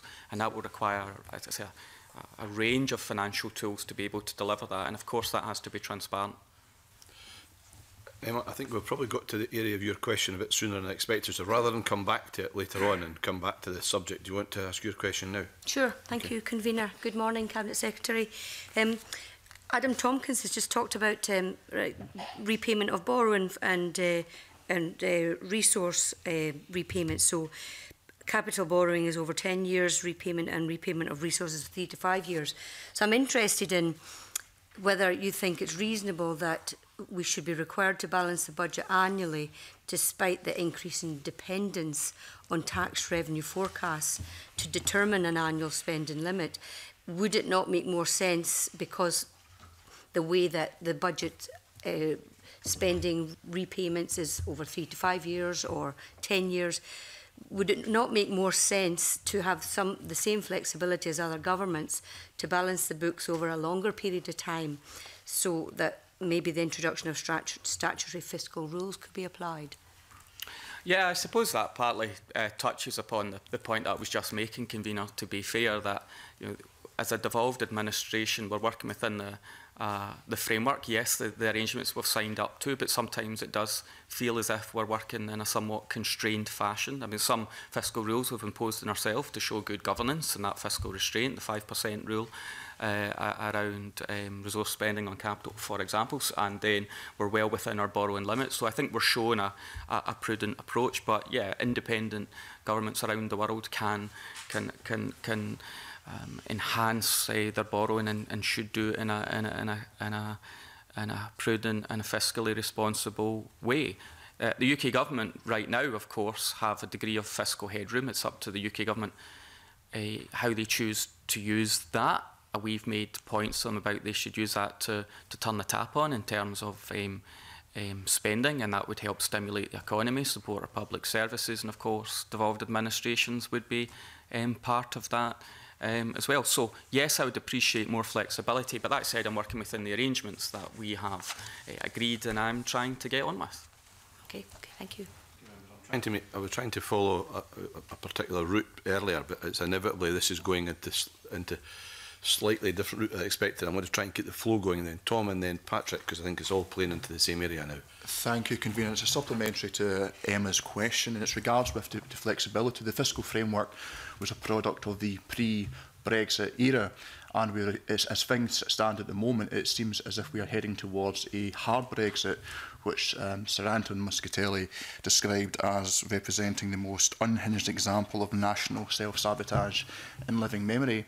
Cabinet Secretary, do you believe that there's enough flexibility within the fiscal framework to contend with this particular shocks and damaging effects that a hard Brexit could have in Scotland, given that, for example, Fraser of Allender estimated between 30 and 80,000 job losses, and in the case of a no-deal Brexit, the Governor of the Bank of England estimated that house prices could fall by up to a third. Uh, Convener, that's, that's an excellent question. No, I don't think the, the fiscal framework, I don't think that the agreement envisaged, envisaged these circumstances, and therefore I don't think there is enough flexibility to deal with such a shock. That said, of course, um, the shock could be to the whole of the UK. It might have a disproportionate impact on Scotland. We're seeing some of the evidence around that, whether it's working age population, impact on GDP, or a whole host of, of, of other matters. Um, As it stands right now, of course, in the GDP statistics, we're outperforming the rest of the United Kingdom, contrary to what the Fiscal Commission um, forecast. I just uh, gently um, throw in there. Um, but uh, it's a material uh, consideration. Um, the uh, issue for us really then is how we could um, respond to those challenging economic circumstances. I think it's true to say that Brexit was a bit of a Tory gamble, then a guddle. Now it is an act of economic self-harm. We need to see where the negotiations uh, uh, get eh, the UK to. I won't focus on uh, Brexit today other than to say I think the parameters of flexibility we have are somewhat constrained and limited in those circumstances. Uh, hopefully we can continue to grow our economy uh, and enjoy success, but it is somewhat challenged by the threat of Brexit right now. so I'm working within this agreement, but if you look at some of the parameters that constrain us, for example, on the um, budget, what, what was budget exchange, the Scotland reserve, how much I can draw down. Even if we have it in the reserve, I'm constrained as what can be drawn down, even if we have it in our resource. And I do think that is a challenge. But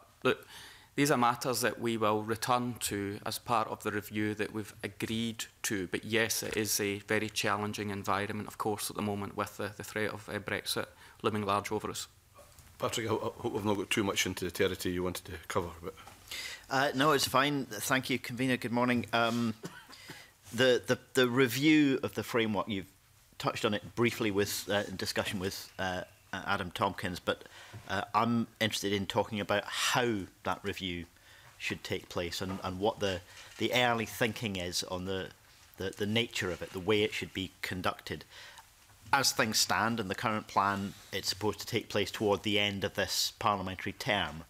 Uh, and I, I'd like to suggest that it might be difficult to get any consensus if that's happening in the months immediately prior uh, to an election. And so some, some earlier upfront engagement uh, on the, the broad uh, approach to it might be useful. The, the Chief Secretary of the Treasury didn't seem very interested in getting into that discussion uh, last week. I'm wondering whether the Scottish Government is yet giving any consideration to how it should happen. Uh, and obviously, I would hope we would all agree it shouldn't uh, take the form of the UK Government reviewing and then imposing its solution.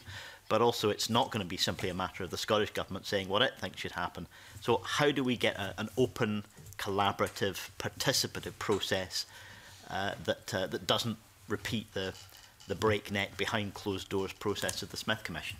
No, I appreciate the, the question, Convener, and the, the way in which it's been raised. I, I do want it to be a collaborative um, process coming from the Scottish Parliament as well as the um, Scottish Government. Of course, that review is some time away, and of course, the pressing issue on me is delivering budgets year to year um, and the circumstances therein. But I think it's fair to say that I think the agreement and other members here present were in the room will know that we have to have an independent review that informs the, the, the, the dialogue and decisions with the government. The Joint Exchequer uh, Committee between the Chief Secretary of Treasury and myself uh, haven't touched upon the review yet, but in the meeting I had with the Chief Secretary to the Treasury, I think I underlined the point that because of some of the circumstances that we've touched upon, the, the volatility, the economic challenges that um, UK faces, some of the specific issues we have in Scotland, that the Chief Secretary continue to be mindful to be flexible on matters when we can show evidence that there may need to be a change of approach?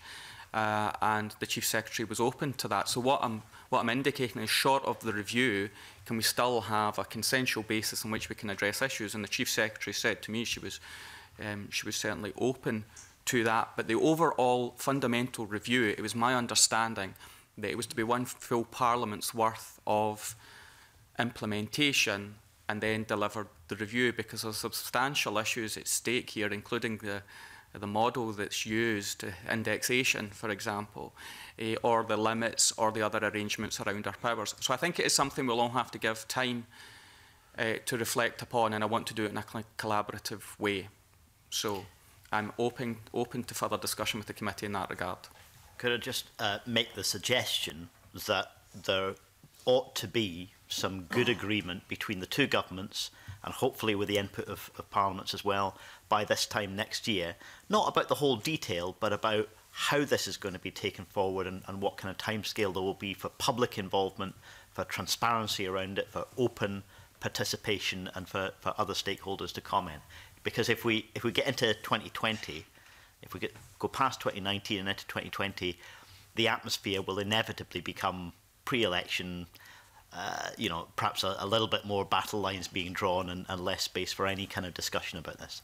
Yeah, I, I appreciate that point, Camille. I'll certainly take that up. Um, and I think that analysis of, of the politics and the uh, the heightened political sensitivities is fair. I'm not sure that will be top of the Treasury's list of things to do at that point in time, uh, so I'm happy to post-Brexit negotiations, pre-Scottish Parliament elections, make sure that we have the space, the time and the opportunity to do this right and in a transparent fashion. Thank you. Um, Angela, I think that kind of plays into the area you were interested in as well, does it? Yeah, I mean, I wanted to discuss a bit with the Cabinet Secretary about uh, relationships and uh, working together. I mean, the Cabinet Secretary is uh, perhaps aware of the Public Administration Constitutional Affairs Committee at Westminster. They produced a report um, in July um, that concluded that 20 years you know, after uh, devolution that uh, Whitehall uh, still hasn't really got with the, the, the devolution programme, and that's um, evidence in their structures and crucially that, that their cultures, uh, culture of uh, working. Uh, they also concluded that um, that lack of appreciation and understanding about devolution didn't just go against the principles of devolution, but was also contrary uh, to good governance um, across uh, the UK. And last week we heard from the Chief Secretary who uh, actually, you know, in fairness, described uh, some of the structures uh, in which, in particular, HMRC, you know, work with the Scottish Government, e-, etc. Uh, and she, you know, talked about some of the other uh, mechanisms. Um, she was obviously positive about uh, relationships and the existing uh, structures uh, to uh, assist with the uh, communication. So I just wondered what your perspective uh, was on the, the existing uh, arrangements. Uh, convener, Ms Constance asked a good question. We It depends on the minister and it depends on the civil servant. Maybe that's true of, of every um, uh, government. But in relation to the matters that I deal with, um, there has to be uh, uh, the, the, structures in place, the Joint Exchequer Committee, there's the Finance Minister's quadrilateral. We might um, disagree over policy, but when it comes to the fundamental workings, we try and go on with what's agreed because it's important that people have confidence in the competence of tax collection and, and the devolution of powers, be it um, a financial arrangements or anything else. Um, but as Angela Constance is well aware, sometimes some of the detail can be very difficult, whether it was in social security transfer or other powers, sometimes to get everything that Scottish Government requires. There is a sense that Um, sometimes the UK government doesn't get um, devolution, uh, but there are education processes within the civil service to try and make people aware of devolution and those issues. And in terms of these workings, I have uh, uh, vehicles to raise ministerial issues, and officials have working arrangements as well. I was watching your evidence earlier on, uh, convener, and um, probing HMRC, for example, in the release of data that, say, the Scottish Fiscal Commission requires. Now, although the Scottish Fiscal Commission is independent of government, we want to support them in getting from HMRC and others the data they need. So we apply pressure when uh, uh, required and where we can.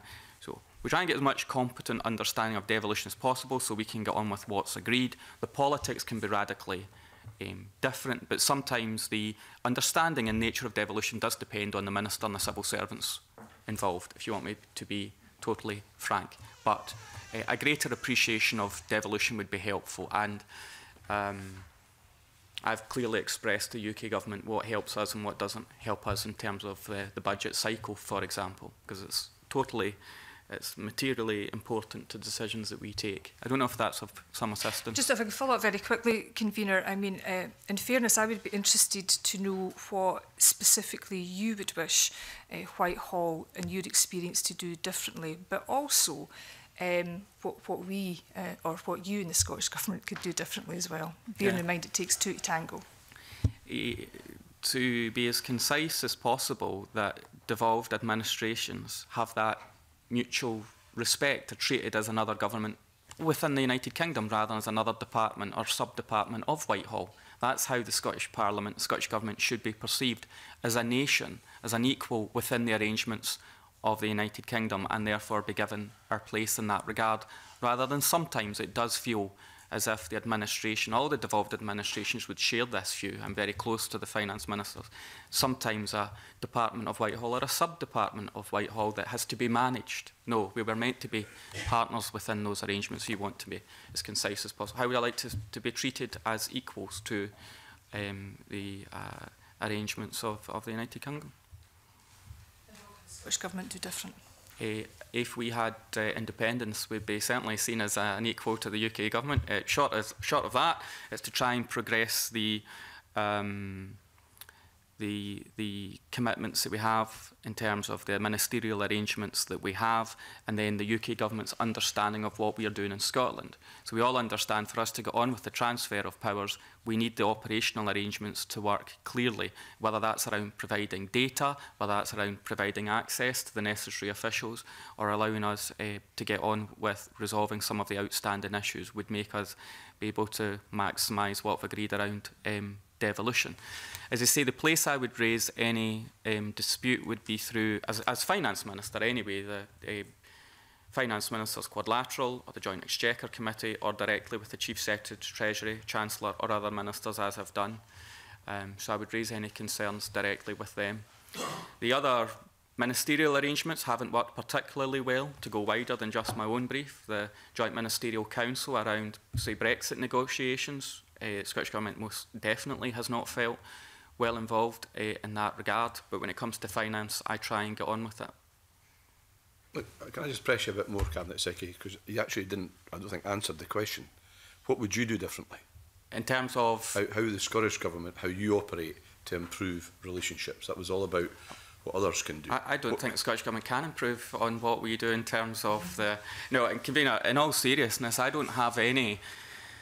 I don't have any complaints from the UK government other than they disagree with our constitutional position. I'm not aware in terms of what I could do differently or what is recommended I do differently with the UK government to try and progress matters that we have um, before us. So I can tell you what I think the UK government should do differently.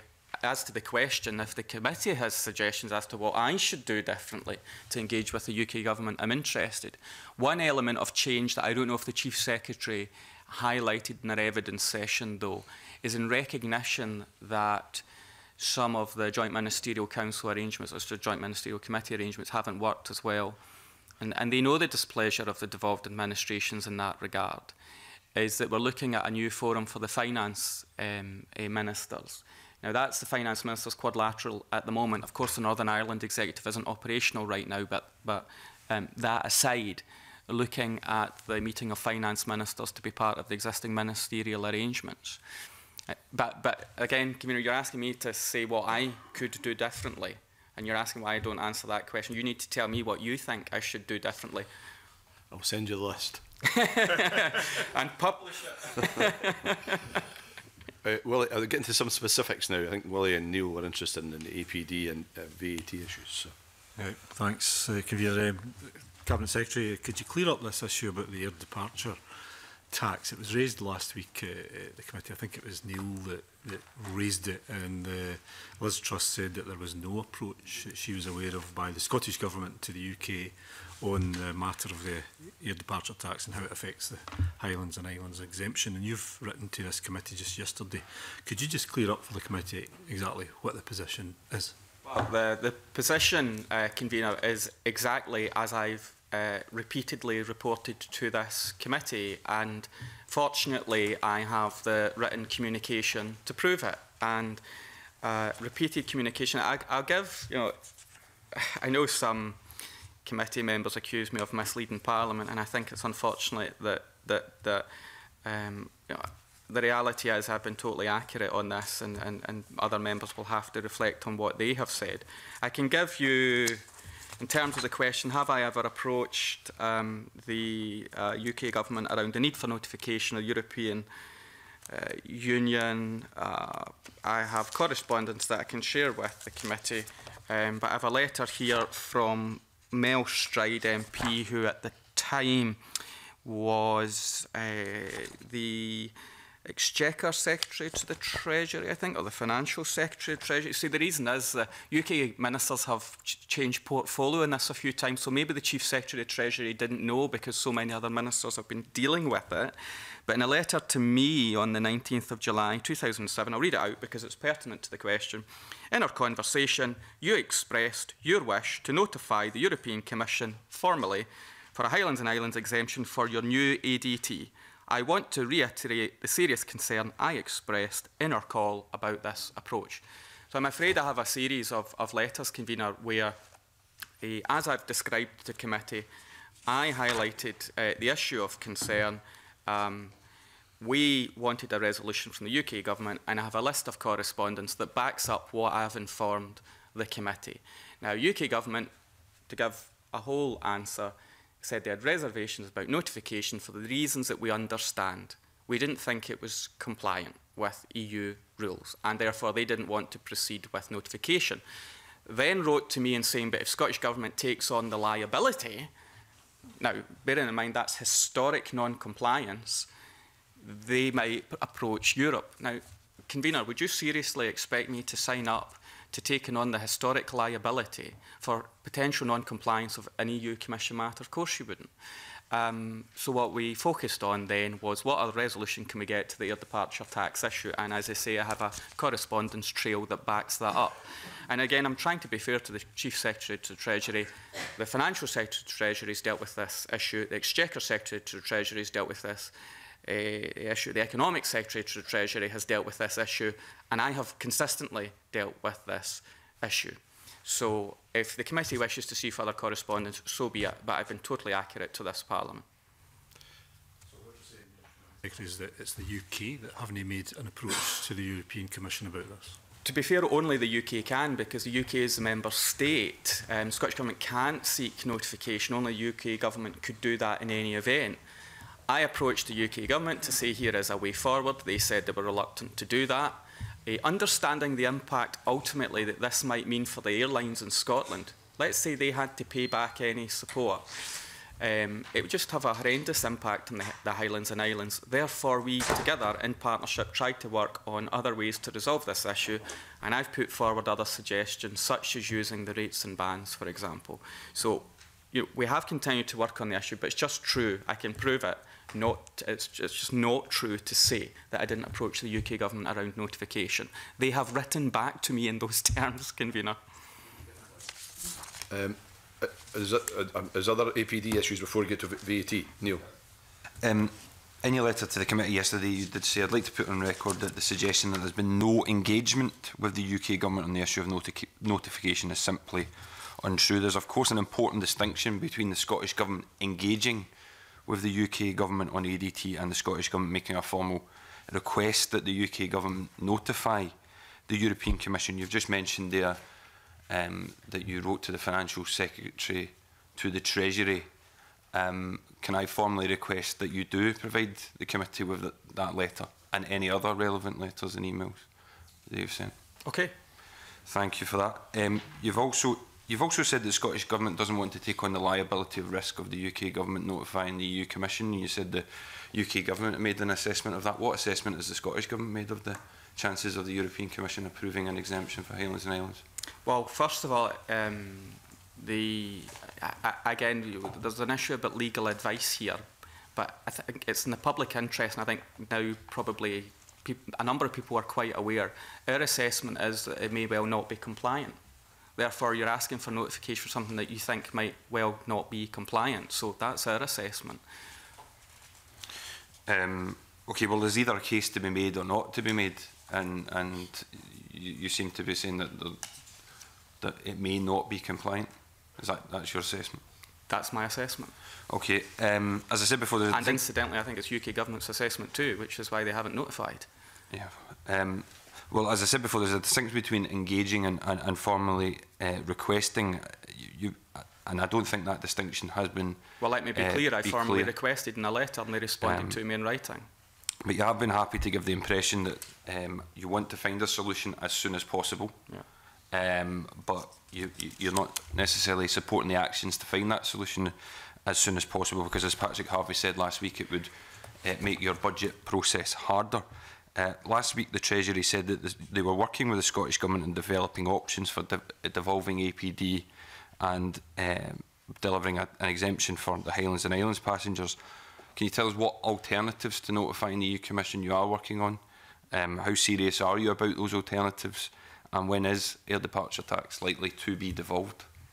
Uh, convener, on the 17th of July in 2017, I wrote to Mel Stride, who was then Financial Secretary to the Treasury, I said, as you know, under APD there is an exemption for all passengers flying from the Highlands and Islands airports. However, as we discussed, following careful and detailed consideration of legal advice, it's been clear for some time that an exemption needs to be notified and approved by the European Commission under state rules before it can be implemented for ADT. Again, just further written evidence to the point that have I raised it with the UK government. So it was, it was clear on, on that. Eh, it was then the, the letter that I've referred to um, the, the, the reply to my point, my subsequent conversation. On, on the other um, matters, I, I'd just be wondering, I wonder if the um, if Neil Bibby maybe wants to reflect on the information he's put in the public domain that's inaccurate. But in terms of my attempts to resolve this issue, we um, have been working very hard on this. The current arrangements for air passenger duty, of course, are being uh, delivered by the UK government. If they want to reduce the rates, they can do so now. Uh, to rehearse this issue again, convener, we cannot implement laws in Scotland that are contrary to EU law. Now, we don't know how the world changes post-Brexit, but as it stands right now, we cannot continue the Highlands and Islands exemption like for like. Now, it's aspiration to do that. because to impose the tax for the first time on the Highlands uh, eh, and Islands will have a, a, eh, I think the terminology used by HIAL is catastrophic impact on the Highlands uh, eh, and Islands. Uh, and that's why this issue is so important to have um, resolved. Us having, and of course none of this, as far as I know, none of this was raised through the course of the Smith uh, negotiations, the fiscal agreement. This was all new to us at the point of um, trying to implement the tax in Scotland, air departure tax. And genuinely with UK government on identification of an issue around state aid notification, we've genuinely tried to find a way through this. But it is the UK government, it's the member state, they have to pursue notification. It's short of that issue being resolved. Um, there's been no other suggestion from the UK government that works that would be compliant. It, one suggestion I made to the UK government, uh, which would substantially resolve the issue, um, would be for them to allow us to use the, the powers under the rates and bans. That particularly work for short haul flights. But yes, that would require a zero rating for all of Scotland, and that comes at a cost, but that would breach the no detriment principle um, within the Smith Agreement. So we are at an impasse with the UK government. So past that, what have we tried to do about it? So I've set up a Highlands and Islands working group so that all interests uh, can come together to see are there any other ways forward in that regard? Recognising that there seems, I thought there was a consensus to try and address the Highlands and Islands exemption issue so that there's a like-for-like -like exemption going forward. And that, uh, I'm happy to share the membership of that working group of the, uh, with the committee if that's helpful, is going through to try and exhaust the issue to see if there's any other way forward to try and address that issue so that we can, in a satisfactory manner, take on the devolution of the tax. So, Convener, I was asked for the detail and I've tried to provide that. We are working very hard to try and resolve this issue, but I'm not going to sacrifice the Highlands and Islands of Scotland. Um,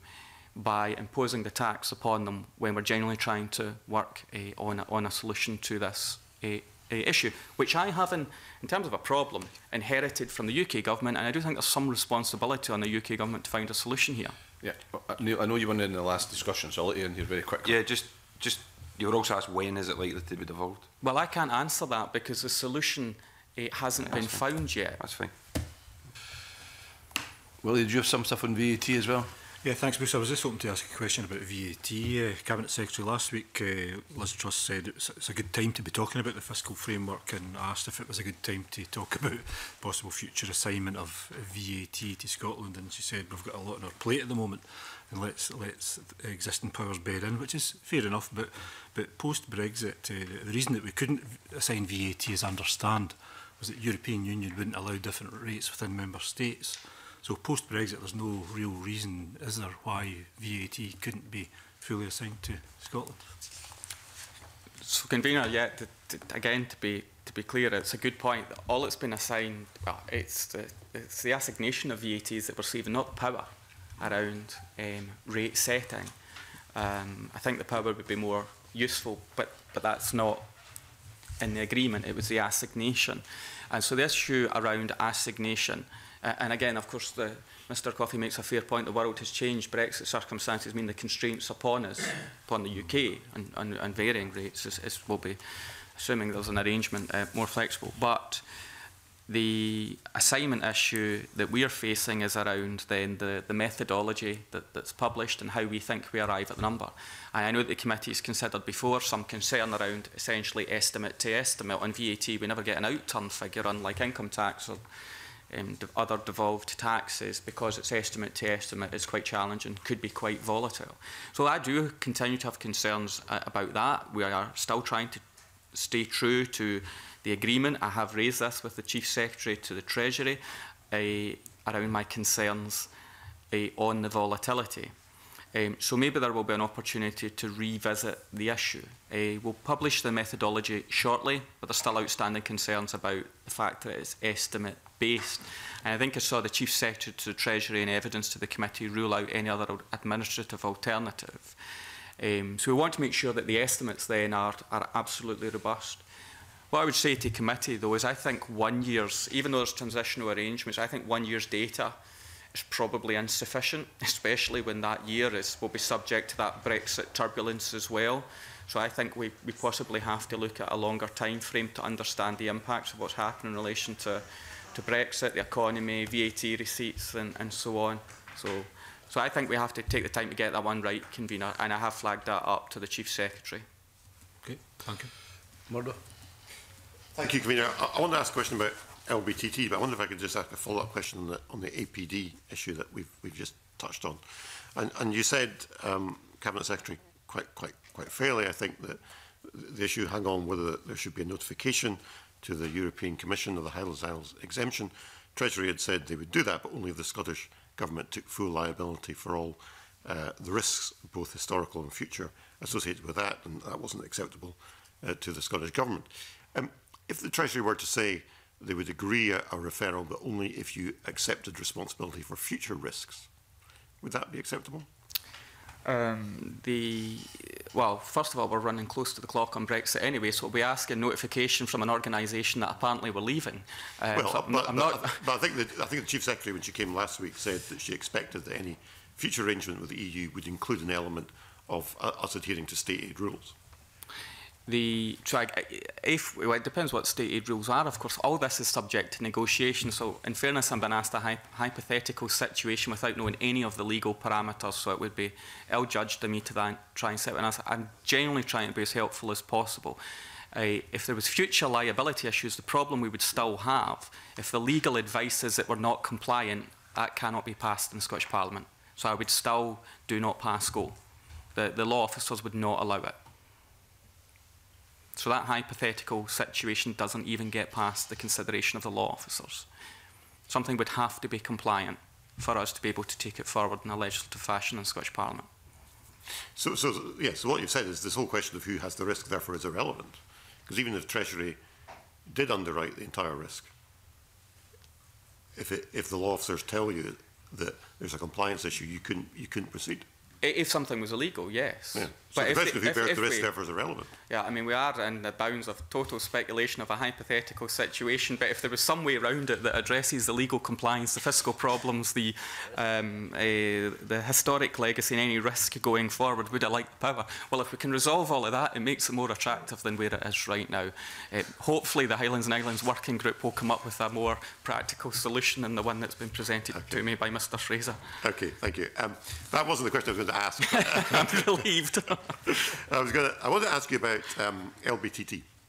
Um, there was an announcement on Saturday from the Prime Minister that the UK government is publishing a consultation on changes to SDLT, uh, looking at introducing a surcharge on SDLT for non-UK resident purchasers of property, uh, and suggestion is this will be between one and three percent of the surcharge. Now, I appreciate this is only a consultation uh, and it's very early stage, and I don't expect you to reveal at this stage what might be in your budget.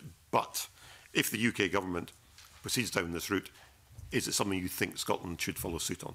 I, I genuinely can't answer that question without seeing the detail, but I will um, advise the committee that I've asked the information from the UK government to see how they think it would work. So, of course, I would look at the, the contents of the consultation um, and, of course, understanding the nature of the fiscal framework and the relationship we have. If they do something on LBTT and we don't match it, then there's a, a financial outcome to that. So, of course, I have to look very closely at what they're proposing. So once I have the detail, I'll certainly look at it And I've already, as soon as I saw the announcement, I had no earlier awareness that the announcement was coming. So uh, I'll certainly react to it when I have all the information before me.